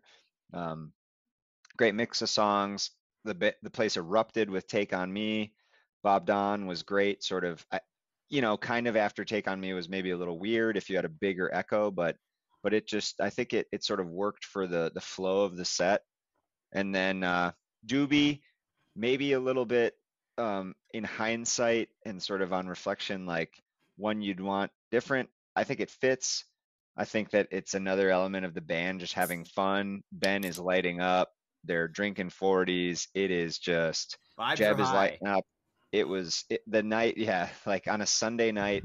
It felt like sort of this is just a fun show, and they were having fun at the end of a weekend run, and a good rip and tumble to finish. I think "Tumble's" another song that, despite no massive versions that have sort of stood out insanely, um, it's gotten its mojo back a little bit the last couple couple tours, which is good. And then, f- sorry, White Lights, Loose End, White Lights in it finished too. It's fun. B, please. Classic. Yeah, no, just real quick on this one. Uh, so yeah, I mean, you know, you got to finish Mist, but I will say, in as far as unfinished Mist jam. go, Yeah. If you're gonna have an extended jam, and then a silky segue, you know, after a big jam, I mean, that's not that's not as bad. You know, that doesn't upset me as much as like just a truncated Mist Right. Into Can't Get You Out of My into Head. into just something that it Kylie. shouldn't go into. You know what I mean? So, so yeah, so so not as bad here, but I I, I would still say, I mean, you, you got to finish, Finish Mist. I mean, come it it can't be this common. You know what I mean? Finish it. I wanted them to finish it. finish it most the of the set. time. Yeah. And then the and then the the small amount of times you don't finish it, do this with it, what you did here. Um, so yeah, and otherwise, yeah, I mean, not much, not not much going on in this set for me. I think this show kind of probably gets lost in the middle of the pack somewhere. Um, Just uh, you know, again, great time to be had by you know all in attendance. Um, but when we have this large body of work, especially with all the shows this year, all the shows of this tour, um, you know, sometimes some of these shows end up, uh, you know, being being amazing in person, but maybe get a little bit lost in the shuffle on on re-listen as we as we review the tour. So, um, but yeah, yeah, that's that's all I got to do. Hey, finish Mist in 2024. There we go. well, merch coming soon. Uh, the, the second set is great. I, I just I I love so much. I remember being struck on the watching the webcast, you know, knowing like wow, the, you know these jams aren't bracket. You know that this isn't anything crazy, but wow, the flow of these first three songs here, Mist, Yep. Echo, Take on Me, just going for it. Full disco vibes in the mist. Love love that jam. Similar to like uh, Yeah, Cleveland 2022. Uh, you know, Peter going crazy on the vintage vibe. Um, but man, the, the the segues here also are so so good, right? Like so so good. Nice nice little clav work. Uh, we don't mix get- too. we don't always see that and it's like i think that's another part that's yeah, nice 2023 has shown us we're getting a lot more fluid in the transitions Oh yeah. um it's just an echo i think is one that admittedly is whether or not it's a tease or another full song entry is one that um we allude to in a big rosewood or anything is is that we we I think it's a it's a it's an easy entry song for them, but it just like it keeps the energy going, like you said. And Take on Me just felt cool to kind of get an extended for when we had Buffalo. Was this the first since Buffalo? Last one was three twenty six twenty three. Yeah, and then so th- there so there have been two versions prior since Buffalo. They played at that's 12, 13, 19, Covington, 326, 23 at the Agora. Yeah. Covington. So it is Cov- yeah. Oh, Covington. or Covington. Covington? Covington. Covington. Covington. Um, but yeah, anyway, the, these these three songs it's are great. Kentucky. It's Kentucky. Bob Don hints at the width. Uh, I was inclined not to mark it as width. A higher power informed me uh, that it was in fact width. Elements It's not. Uh, And- this isn't with. Yeah. Sometimes got you it go with later, higher though. power. We got it later. Wait, it listen, we first- got we got was it in a big days. way, and so we, we Yeah. you know we don't need Kev to give a eulogy uh, for the for this Bob Don because of what comes later in the tour. I'll Uh, take any Bob Don any way. Like Bobby Don, give it to me, even if it's not with. I know it's coming at some point. Yeah, Let's and- just listen to this did. fucking groove. Hell yeah! Um, do it really quick before we move on. Am I the only person who's going to talk about how awesome this Echo of a Rose is? it's great. It's awesome. I like it too. It's hot. Probably. You are like Uh, hose, yeah, Hosewood well- Goose, right? That's your. uh, no, this Echo of a Rose um, is one of the shorter, really hot versions where like Peter is going absolutely ape shit in this thing. Then it gets like very quiet for a second. and Peter goes right back to going ape shit. Like he did not want to give up. The band was trying to lead him away from whatever this uh, Echo over Oh, Rose jam was. And then he just kept going. And I love that shit. So good. Absolutely destroying the piano on that version. Uh, is it like an all timer? Hell no. But is it a really cool, notable version of Echo of a Rose? Absolutely, yeah. it is. It's so good. Yeah, and they- they really so much fun. love they really love loose ends this year. Uh, just just for anyone who's curious on some tease it. stats, Oh. th- this is the this is the fourth loose ends of uh 2023. It has not been played four times in any year previously. Um, it's only been played 12, 12 times ever.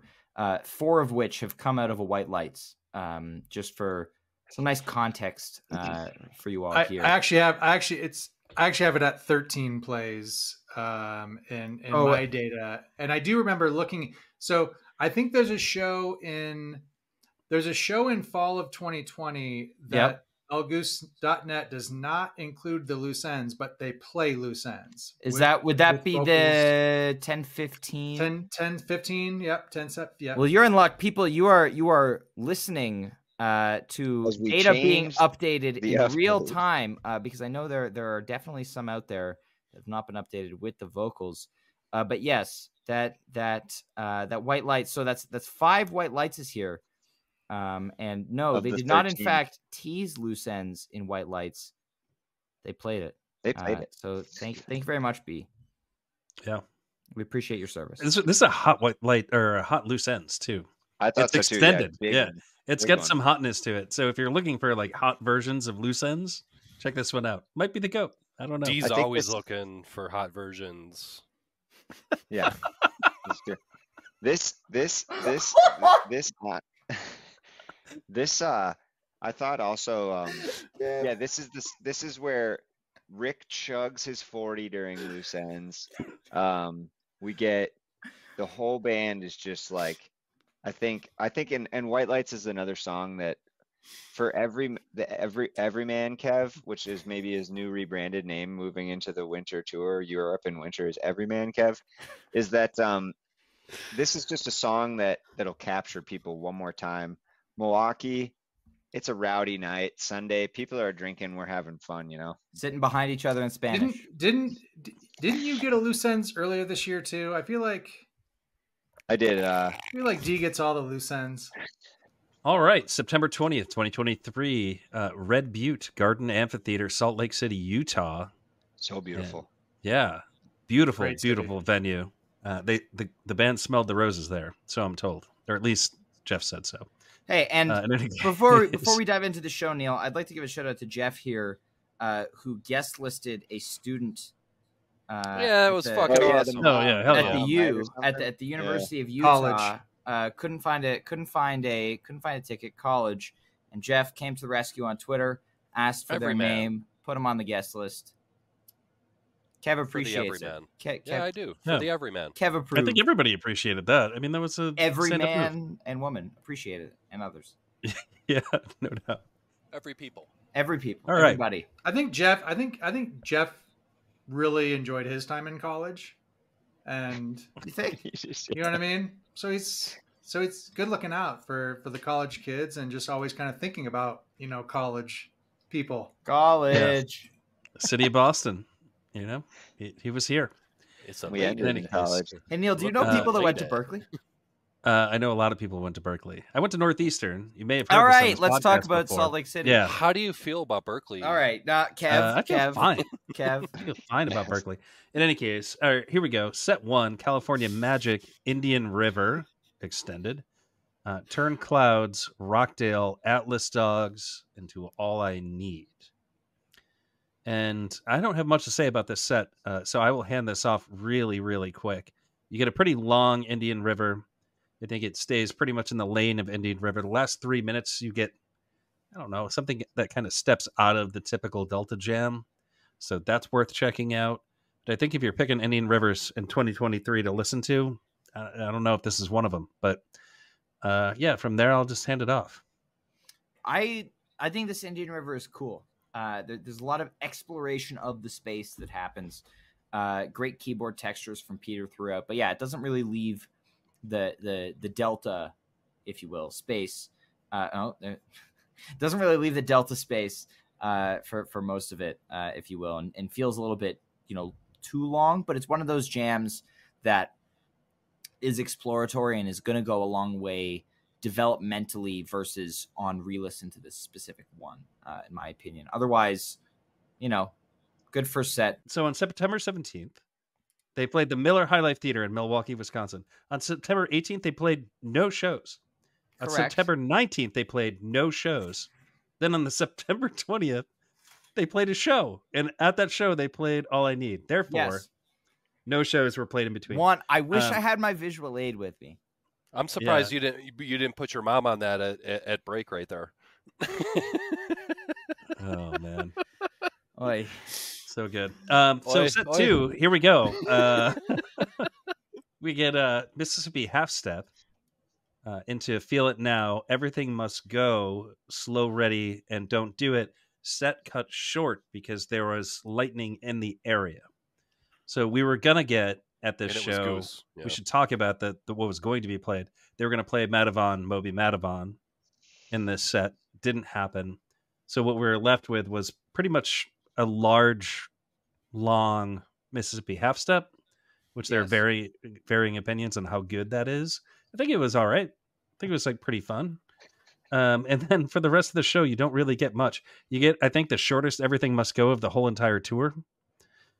Um, you get Yep. a really short "Feel It Now." You get a slow "Ready" that probably is pretty much standard. Slow That's ready. it. That's, that's all you they, get. Then they they throw in the don't do it. Uh, the favorite of the we have five minutes left and we need to do something here. Uh, Yeah. you know we Which we is know funny because like right when they were starting, we were just like, "Don't do it," and they did it. And they did it. they they Was did it. was there bad weather? Was it was there weather? it was lightning. lightning. Yeah, right there. It was Yeah. lightning. At least some sometimes with the lightning, you know, cancellation, it's like, okay, get off the stage now. But they were like, you guys have five minutes. Like throw throw in a little band cover here. Let let the people know that you wish you didn't have to do it. Uh, and you're saying don't do it to the lightning. You know? Yeah, well, maybe. it's deep. this Thank yeah, you. I mean, obviously, it's it's it's just the half step here, um, but this is but it's a really good half step, and I think it's I think for now it's a playlist worthy half step, Absolutely. and I I, I kind of I warmed up to it. I think at first I was like, oh, you know, I mean, it's it's long, but you know, I, I wasn't so sure, but yeah, I mean, I, I feel like it's really grown on me after after more listens, and I, I just I love the song and the cover so much that you know, a big part of me just wants all of these half step jams to be great. Uh, but I think this one truly is great. Um, probably, eh, you know, it's not going to be it's not going to be top top twenty, top thirty, top forty even, but um, yeah, I, this this may stay on the playlist. Um, I really like it, and uh, you know, I don't know that we've seen a half step set to opener before either. And that's the only other thing I would comment on is I think that's great. I, I think it's I think that's a really awesome. I don't think in, in fact I don't think there's many covers at all that you can that you should be coming out after set break and opening up your set two with. But I think this one you can. And and I'd be I'd be happy with it. So so yeah, I thought I thought it was really cool if they did that. Um, and I I think I think our all of our I think collectively our initial thought when they opened the set with it was, oh yeah, we're we're probably about to get a big a big version with a big jam because we know they like to do it with the song. So um, so yeah, super stoked about this jam. It's it's it's jam of the set, it's jam of the night, um, and and yeah, I mean, like you said, I mean, unfortunately, you know, things got cut short a little bit. Um, probably, I don't think they got cut short enough for any type of refund or you know free drink ticket or anything. But, um, but yeah, great. At least, at least everybody got this great half step. Yeah, I, I think the the Madhuvan Moby Madhuvan was best saved for the next show anyway. Um, I you know, selfishly, honestly, I, and again, this is like you know when I saw J Rad at the end of July in New York, and the show got cut short uh, by lightning 15 minutes before curfew. Um, it's unfortunate. Uh, but you know, would have been a lot worse if it had been 30, 45 minutes earlier.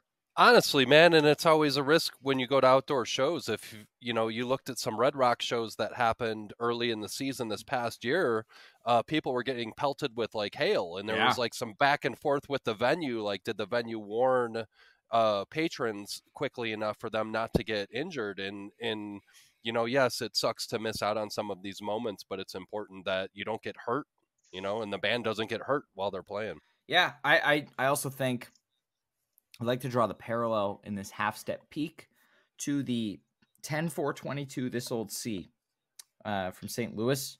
Very similar vibe uh, to these peaks, similar jam. I j- just want to draw that while we're talking about here. Uh, but it, you know, if we're all through with this, I'm ready to uh, to head to uh, Bonerland. Oh yeah, just really quick. I just want to say because I made this point earlier when we talk about the Borderlands Rosewood mm-hmm. style of jamming that shows up in the Wysteria from Detroit. It also shows up here. The very very similar jamming throughout. So just wanted to add that one piece. There we go. B, sir. All right, Missoula. Bonner. Show's all right. Yeah, Let's go. It's a good show. Okay. okay. Friday night. So Everybody's ready to party. Also, also kicking off another five nights in a row for the band. Okay. Okay. And yep, we had to get the five nights in a row in there. Right. Right. Yes, we did. Moment. We did. Where was I? Echo and the Bunnymen. Uh, yeah. Yeah. Killing Moon. Killing Moon. Yeah. Yes, the Killing Moon. Um, yeah. Also killing your flow. Yeah, the the Killing Moon, Mr. Action, Time to Flee, Lead Up, Drive, Redbird. That sounds like a hot set. It does. Hot set. Hot. Um, so yeah, first Killing Moon since the debut at the Donnie Darko Halloween show in 2020. It was that 11 6, 11 7, 11 7. Come on, man. So, um, with the arrow, too. The postponed Halloween shows. Yeah, yeah, postponed. Um, South Farms. So yeah, really, really happy to see this come back. I mean, you know, and and and we'll talk about this song a lot more actually, but um, yeah, yeah, great song, um, and perfectly fine opener as well. So yeah, really set the tone um, for for a hot, hot set. And so we get the Mister Action, uh, the Flea, Ooh. another awesome lead up, a drive, Ooh. a fairly a fairly extended drive. Yeah, decent drive um, too and then a and then and then a redbird to close the set. So so yeah, I mean, look, um, from no incredibly notable jams throughout this set. I think I think the drive was probably the jam of the set for me. But boy, I mean, just let me say that again. Good Killing flow. Moon, Mr. Action, Time to Flee, Lead Up, Drive, Redbird. I mean, that's Great a hot, hot set. Say say killing say say Kel, say Killing Moon again. I'll, Killing Moon. Thank you. I'm gonna I'll hold my thoughts on kind of where where I rank this show until we get to the second set, but that's a that's a really really really strong set one. So Yeah. what, what do you guys think? Absolutely, I love it. Like, I mean, 190 shows on the Killing Moon. Like that. That's that's that's pretty great. Uh, and it's a great fucking cover. it's a great cover, and I I mean, it, it speaks to how great they think it is too, because it popped up two more times on this tour.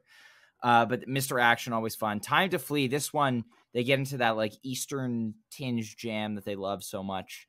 Um, really, really cool version here. But this drive, yeah, as you mentioned, Pete, this is jam of the set for me. Peter sticks to guitar throughout until like the last 30 seconds of the jam.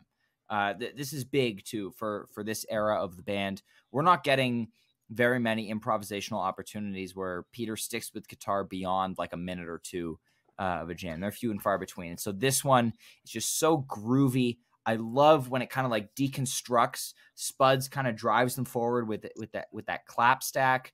Um, but just really excellent, funky, groovy drive here. Um, and then that Redbird, uh, is just a you know triumphant way to close a set. Neil was talking earlier about the these shorter Redbirds that are doing a lot, and this is just an awesome set closing version. But man, the, this first set they come out, they mean business, and that just continues in set two, which I can't wait to talk about. But who, who's got more thoughts on the the first set here? Not much to add other than this like everything's played right in this set. The set list is constructed well. Yeah. I mean, you get the killing to start off the show. Like that just you know, that's some mind blowing stuff. It's I a was vibe- at the show a- where they played the vibe first one. set. It's a vibe setting song, man. Yeah, yeah, man. And it did it at 11-7. I, I think that was incredible. And yeah, I love the fact that they're playing it again. And I think they love the fact that they're playing it again, as we're about to find out. Um, the flea was pretty good. You know, I, I think at the time we were really high in this flea. I think I've backed off a little bit on how excited I am about it. But, you know, like you, Ryan, I kind of heard that like I think you were calling it the Eastern Jam. Kind of feels like it is on the edge of that klezmery jam that they do, um, usually out of like um, creatures. But here it is in in Time to Flee, and then the drive is just hot. It's so hot. Like Trevor's playing so well. The, I mean, the bass lines were so good. Peter was playing awesome, awesome rhythm guitar throughout. And you know, we just can't say it enough. When he plays guitar, it's great. And Two he's an excellent keyboard goose. player. Yeah, two guitar goose is fucking crushes sometimes. And this is like an amazing example of that. And then yeah, yet again you get like a 17 minute Redbird that's just hot. It's a great jam. And it's just, you know, it's not a 20 minute version, but these are all this is the beginning of the Redbirds that Like throw 19 back to like 18.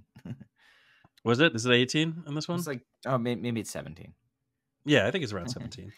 Uh, 17, 18. Yeah. So this one kind of throws back to Pittsburgh. It reminds me a little bit of it. Not nearly as good, but just has that heat, that fire. And I don't know. I love it. It's a pretty good Redbird. Um, I had like pretty much all the Redbirds they played on this fall tour anyway. So this one's up there, though. It's pretty good. Anyone else got What'd stuff on think, this Kev? first set or Kev? You got No bad birds. I think, like Neil said, man, like it's a song that they can play whenever they want to play it, uh, and it's always going to produce, and it's always going to be good, and it just feels like a comfortable space, and they enjoy they enjoy it, and it's easy for them to play in.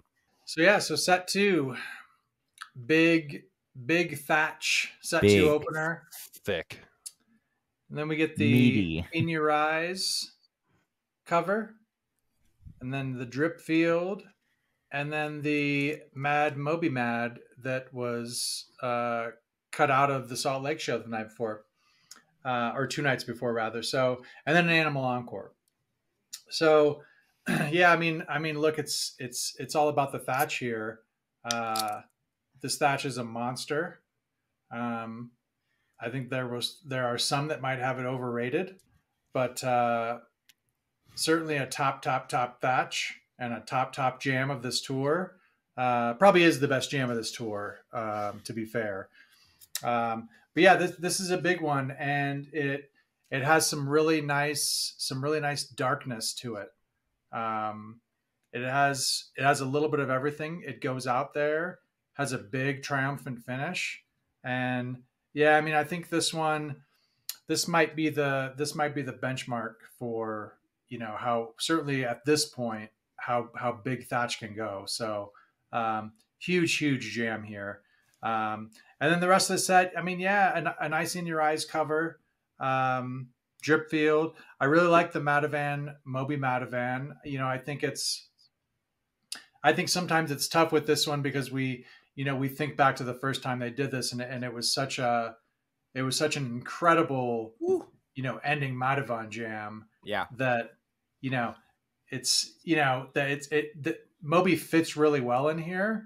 Um, but it, it's really hard not to, not to compare, uh, you know, thinking back. So, and, and this one probably doesn't reach those heights, but it's it, this is still a really nice a really nice uh, ending jam in the Madhuvan. So, um, and then Animal Encore, yeah. So I mean, look, uh, and and you know, I mean, the drip field's really good too. This is this is a really great drip field, Mhm. and Some might fact, say between- it contains elements of in your eyes. Well, in this drip field and and you know the, the next one that, that they'll play um, are are two really standout versions, and so really nice to see them kind of doing some different things and and experimenting with with the drip field jams, and so yeah, I mean again, you we talked about the first set and and now you got Thatch in your eyes, drip, Madhuvan with the Moby in there, and and an Animal Encore, which might it, it that might be the only thing here where I'm saying, ah, I might- have I might have chosen something different there, but but that's not a that's not a bad call. You know what I mean? Encore that shit. I, I, other yeah. Otherwise, otherwise th- this set too is is really really good, and so yeah. now you now you add it to to this to this really really top set one, and I mean I've got this I've got this right now as as my number five show of the year. So um, you know number two show of the fall, number five show of the year. So this this Missoula really really got it. Uh, and and yeah, would have would have been really stoked to be at this one. Yeah, go ahead, Ryan. I mean, whether you think this Thatch is the jam of the year or not, uh, as as some in this chat do, maybe one in the in the, in this podcast, um, it might- might just be me at this point. Uh, It's I'd like to fucking I'd like to go on record as saying that Neil Landry was the first person to say that this Thatch was jam of the year, and then became a coward about it. Fucking Um, doxing the dude on the pod. Everyone knows what his name is. It's it's not a secret. Oh man. Um, Continue. Th- this Um, thatch this thatch is, is your slander. is incredible 25 minutes uh everyone just locked in i i especially love what rick does kind of later in the jam kind of using the whammy like to actually bend the notes like the wow wow as opposed to usually he just uses it for the octave down or octave up effects so this is cool new uses for his guitar pedal that we'd love to see exploring different sounds, exploring different capabilities of what they can do with the gear that they've been using for a long time, especially, you know, given how much of a staple that is for his sound. But it's just it's just so amazing. For all 25 of the minutes, it's not 28. There's some crowd at the front, crowd at the Banter. Yeah, back. banter. Uh, yes, uh, Count Jobus on percussion and, and special effects. and Yeah. special effects. Uh, I, I don't know what that sounded like in person, uh, but on the boards, it's just a burst of static. Uh, I don't know if that was a bomb or Jeff now has a sample for a burst of static. Um, but it's it's it's quality shit. That's what we know. He's got a pad for just like awful fucking sound. Oh, it's perfect. It's perfect. Yeah. The, the stats is amazing. You know, you open the second set with it. After that first set, you know it's going to be business, and they just they just go for it here. Everyone's just dialed in.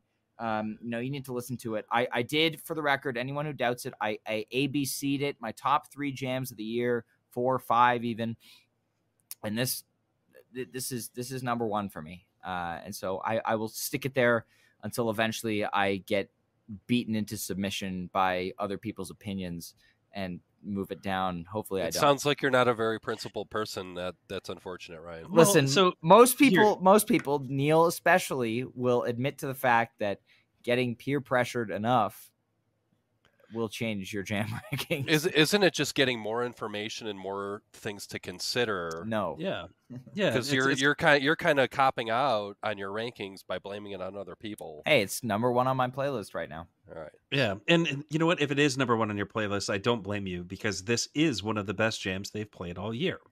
Is it the best? I mean, I don't know. That's subjective.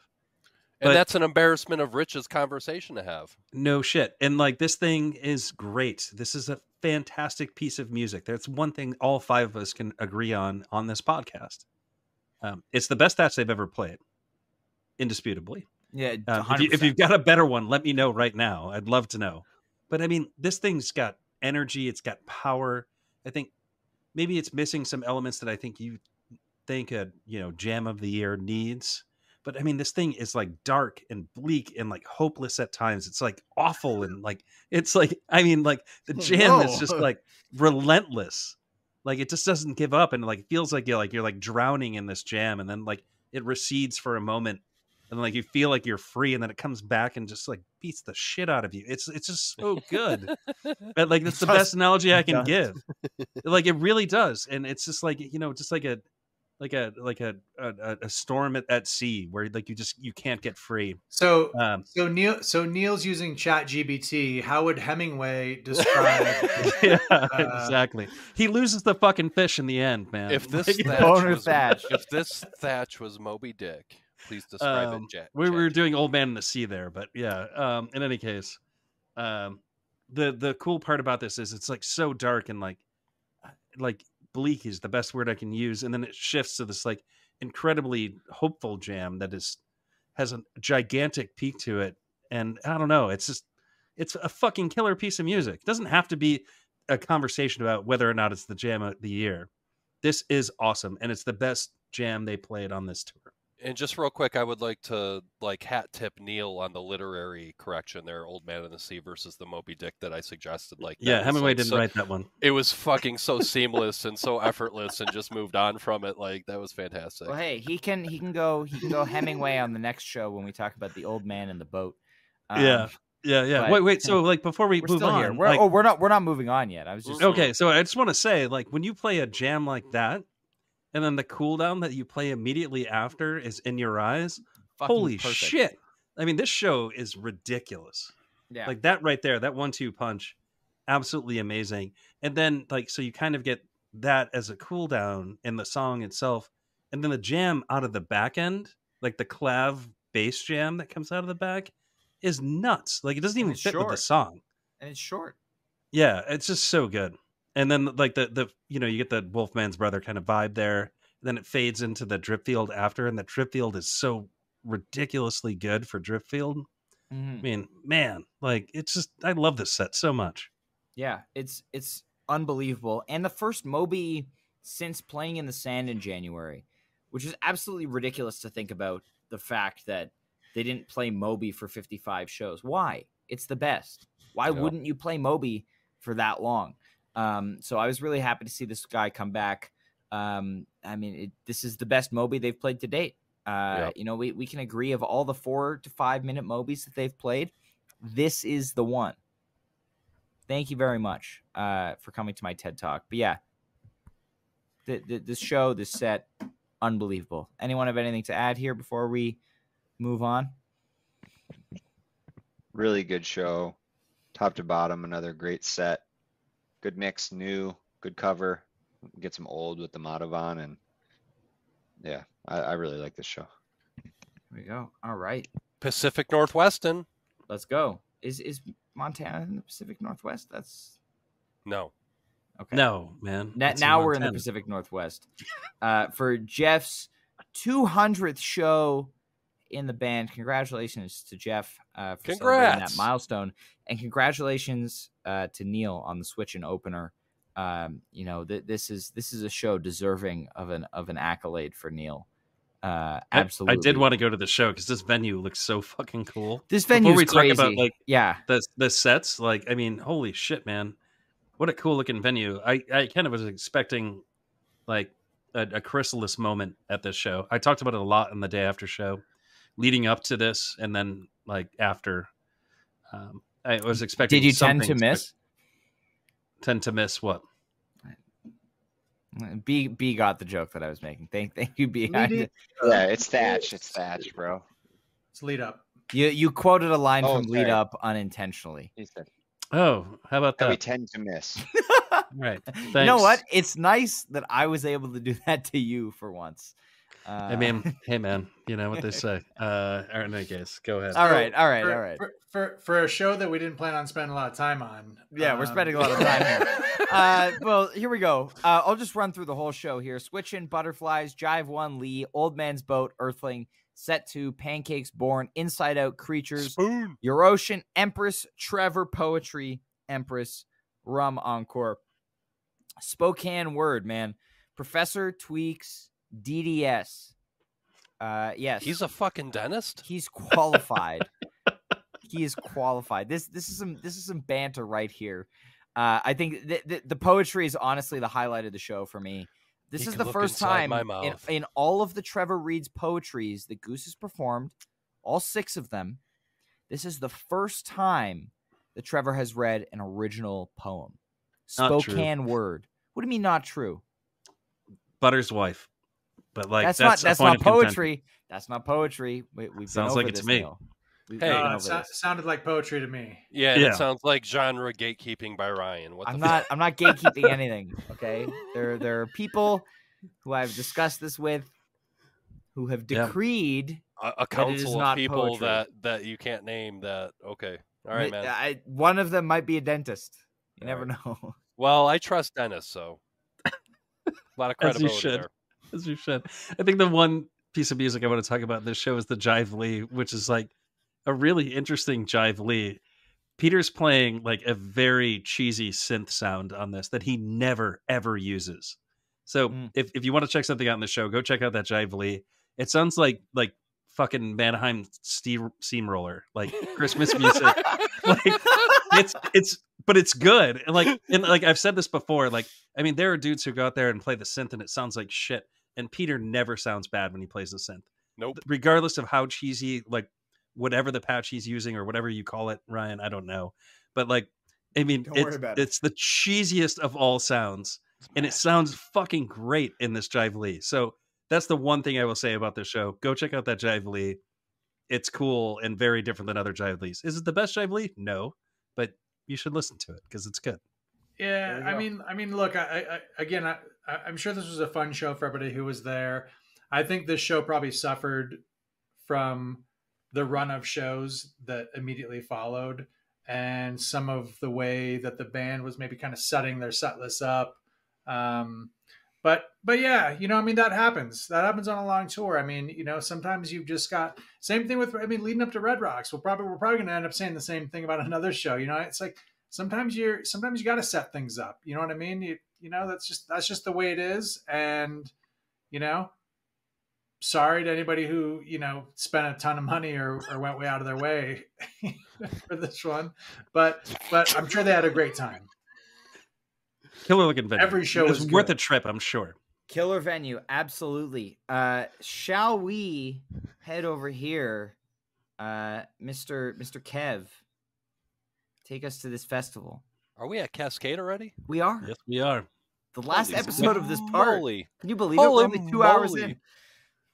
is it two hours already No, we're we're not quite at two hours. We're almost okay i was gonna say okay so we're at the uh, cascade equinox festival in oregon uh, still in the pacific northwest september 24th 2023 we did not encore that shit hot tea opener uh, followed by silver rising we get another uh, 20 just shy 22 minute arrow uh, into the mist into uh, jive goose's favorite kylie uh, cover can't get you out of my head uh, into Hungersite sos uh, 726 and we round out the set with arcadia. Who's got what? Oh man i just want to say a bunch of things that are going to piss jive off. Um That's all you need. Uh first of all this let's arrow go is really really good so i'm gonna go on brand and say that it's like dark it has like really excellent bass work by Trevor. Oh man, Sure. that last five minutes of this arrow. so good, right? Oh like, my do you agree? God.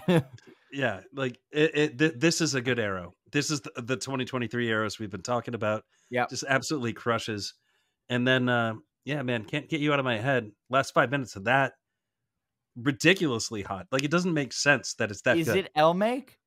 Is it not? I don't who know, cares? but whatever it It's is, I love that shit. Yeah, it's Yeah. so good. I love the Kylie cover. Yeah, and like you know, usually it sucks, but that sucks. But like it's just like nothing noteworthy. But this one is something else, man. It makes people fucking dance, man. It makes people feel happy. Why do you hate happiness, Neil? Jesus fucking Christ. You know why, Kev? Because because B can't get you out of his head. Oh. So this was a was this a can't get you out of my tree jam?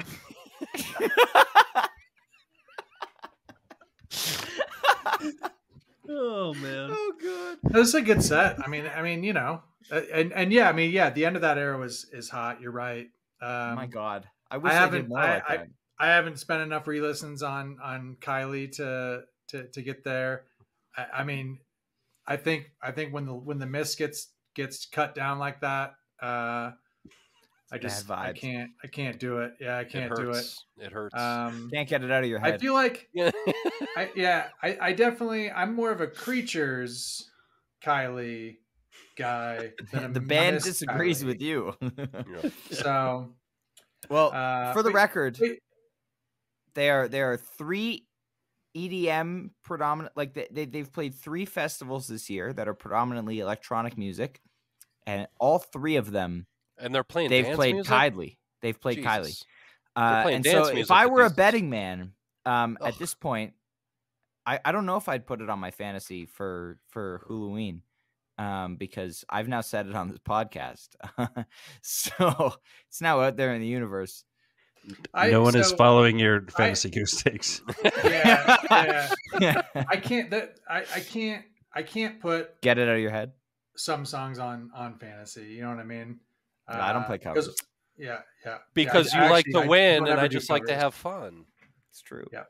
That's the difference. Why I, I like to have fun and win. So Kev Jr. in the background there. Shout out. you'd be surprised at how much fun winning is, Kev. hey man. Okay, if, if if we're gonna go there, let's pull up our DraftKings account. Well, I don't know why Ryan's If we're going for blood, let's go, Oh, baby. Here we go. Oh, How many man. posters can you afford for the Europe tour, B? Oh man. Sorry, that was. All right. oh my god. I think Don't this have- is a, a really special time. Yes. Uh, it's the Neil- most special time. Neil, do you know what time it is? I think I do know what time it is. What time is Eight it? o'clock. Eight o'clock MST. Uh, Daniel, do you know what time it is? No. It's time for the mail sack. It's time No. for It's the like, our, sack. it's like our favorite sack. time. Ladies and Part one. gentlemen, Part it's one. time Part for one. the sack. And we have not one, not two, not three, but many different sack sources for this for these two Streams of sacks. tonight. Yeah. Did, did you Um, did you email them to me or Oh no, you gotta you gotta find some social media here, buddy. He put. He actually mailed it to you. It'll be there. It'll arrive in three to five business days. All right, well, I'll Um, just I'll just hear the questions. Well, we're, we're gonna we're gonna try to uh, to focus on some some mail sacks that are on, uh, you know, fo- focused on uh, th- th- these shows that we talked about here. Yep. Um, but but interesting. Um, here here's one. I'll start here uh, from from Jive underscore one. Uh, blame Vickers for the ridiculous amount of mu- great musicianship this fall. Can't wait for Europe. Yeah, I don't think we've blamed Vickers, uh, and we're two hours into this podcast, uh, and so let's blame Vickers for the band playing pretty well. Um, let's blame Vickers and let's thank uh, Becca and Brendan for making us those wonderful T-shirts that blame Vickers as well. yes, thank you. Neil's wearing it right now. I- Oh fuck yeah, man. Yep. As I heard speak. Vickers. I heard Vickers might be a cop. Yep. Well, that was what I was going to say. many, Many- many- people are saying. Many saying. people are saying this, and, and and it turns out that it's possibly true. I'm measuring my words. Vickers is in fact a cop. Neil, uh, Neil, would you like to dip into the sack next? Uh, yeah, I'm trying to catch up here. What I do want to do is we get a different source. Um, we asked the folks at wisterialane.org to uh, offer some stuff, but I'm struggling to find the thread right now. So why don't we just jump in? Oh man, Do it. searching for the, Neil searching for the sack. He's searching Yeah. for the sack. Yeah, yeah. Um, uh, the the Bison Jams account says, "How can you recap a tour that hasn't concluded? If our memory is correct, Goose went on to do a European leg of their autumn tour in 2023." Uh, to which I say, I think you're right. Great I memory. think fall tour is not over, Yeah. But we some people really want it to be over. in one go. True. Yeah. Also that band true. has a, that band has a great memory. Yeah, they really do. Yeah, this is actually part one of the of the two part of the first part of fall tour There we recaps go. that we're gonna Yeah. do. So it's like a you may- quarter. that you may further break up into sections as you choose as a podcast listener Fraction, on, on, on any podcast platform. yes. Yeah, and then so the other one I wanted to say here because this is like actually is heartwarming. So from uh, friend of the pod Ryan Molnar, he says uh, favorite non-show moment was having Jive Goose come out of his pickleball cave for some day after pods.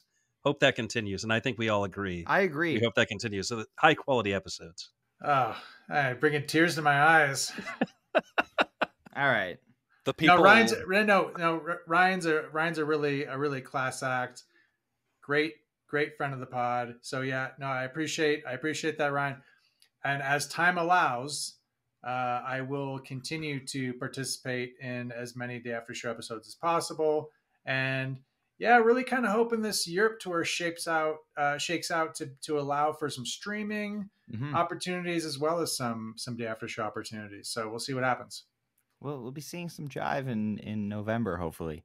Uh, D, Kev, you- one, one of you guys want to dip into the I sack have next year? actually, yeah. I wanted to take a, a, a question from Captain Incredible and let you guys kind of duke this out here. Uh, if Salt Cakes and Fox Yeti had a baby, would you safe surrender it to the state? Well, luckily we haven't talked about the Fox Yeti yet, so uh, I can say tune into episode part two to find out about that question. I was hoping I was hoping to have reproductive discourse.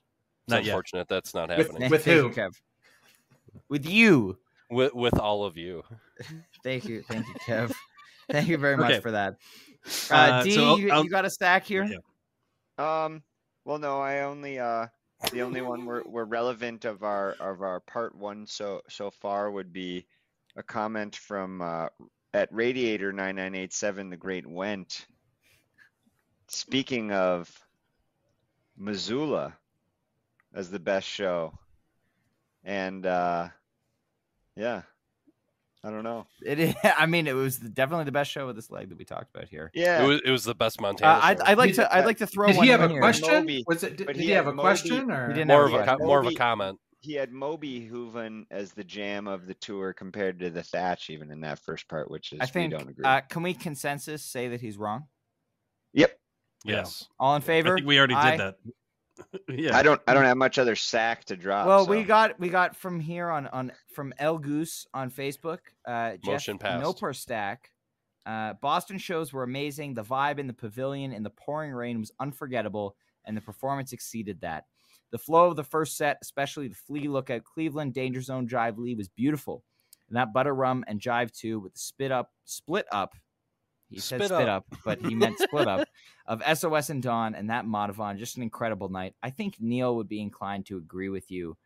Uh, you know, to the tune of nine beers. Uh, Neil, do Yeah, you have another that sack here? Many beers that night. I mean, like, Yeah. Man, or what a show though! I had so much fun at that show. And like, if this is my opportunity to say I had like a great time, like, yes, I had a fucking amazing time. Amazing. Can I- Neil, would you like to sack us out here? Well, I think B had a true or false there. So Oh, B had a true or false? No, I, don't- I don't have access. I, I can't access the sack. Um, I was I was just saying for you, Neil. I think that last comment was was a true or false Question. um, question. I, I'm guessing your answer would have been true, true. one sack. Yeah, it's true. Yeah. Yeah. and I would have said true for the most part. Can I can I re- can I recover my sack effort real quick? yes, go for it. absolutely, Kev. So so Redeem if I sack. if I could redeem the sack effort, uh, Factory Fiction, uh, favorite moment, whatever the band says, Trevor Bass. Yes. and and and and, and I'm hundred percent in full agreement. And I'm sorry, I'm going to pass this back. I yield my time back to the gentleman from Massachusetts. Yeah, yeah, It's- yeah. Let, So- let, let me let me. What, I'm sorry. I'm, I'm sorry, I'm Salida, not, Salida I am from not- Massachusetts. Salida, Salida, I Colorado. am I'm the gentleman from Massachusetts. But I North wanna- I Quincy guy. I didn't want to move on Quincy from that. I, I didn't want to. I didn't want to let this opportunity pass. Saying Trevor nice. Bass is great. Nice. When Rick sings Trevor Bass, Trevor Bass. that is amazing. Oh Yeah. my goodness. Agreed. True. Uh, I say true. Gentleman Yep. from All right. Massachusetts. Well, ladies and gentlemen. Wait, one last one, Ryan. We're gonna oh, do one, one one more. last one. say Neil's got one more. Neil's Yeah, one yeah, because. I'd like to do one from the folks at wisterialane.org. Uh, if you haven't checked the website out, please go do that. An amazing community of folks who care a Check lot about them. the music this band makes. Radio. Uh, Kyle's awesome. So Kyle's Beef awesome. of Ages says uh, the only show I was able to see in person was Milwaukee. It was correctly lauded at the time as a blistering heater coming off the builds of truly great shows in Boston and Detroit, but has since seemingly fallen by the wayside in the shadow of everything that happened afterward. I would submit that Milwaukee was where Elizabeth got her sea legs and took flight for the rest of the tour. Holy Yeah. Uh, and yes, absolutely true.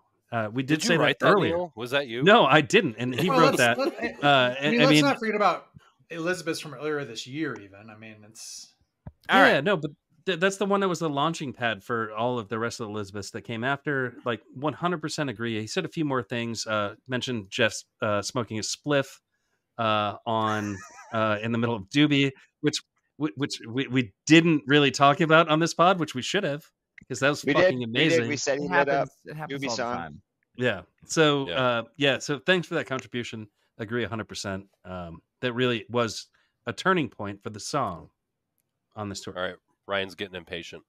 Ladies and gentlemen, we Wait, hold on. One more second, Ryan. I got one more thing. I love it. Go, Neil. All right, I'll, I'll mute Neil again uh, if I need to. But this, this brings us to the close of our Yeah, first part Can I just, of the I just, can I just add one more thing? Sorry, just one more, one more part, one thing. I forgot to mention this earlier. Sure, B. The Boston Thatch. I mean, Is really really, good. Yeah, th- that it was Thatch just opening opening up its wings and really setting the tone for the rest of the Thatches that came after it. So I think we need to credit that Thatch. Daddy Thank you. Thatch. Mommy Yeah. Thatch. okay. Yeah, the first the first time they play the song during the tour, if that song jams later in the tour even better, then I, we do need to to pay homage to that first one. I wonder if that even Jesus happens. fuck. All Yeah, we'll see. All right, Yeah. ladies and gentlemen, thank you so much for listening uh, to the whole two-hour first part of our fall tour recap. Uh, tune in uh, later this week as we bring you part two, uh, which we are going to record right now. Uh, so you know, we apologize in advance uh, for however that one starts. Uh, but we're going to dive into the second half of the tour. and We hope everybody enjoys that when they get to hear it. If you choose to listen to another episode of this podcast, and we hope you do. Uh, so we hope everyone had a great time on this first half of fall tour. We hope everyone is enjoying their time off. Thank you, everybody, for listening to this episode of Always Almost There. We will see you for our second half of tour recap very, very soon. Thank you very much. Love y'all. Bye.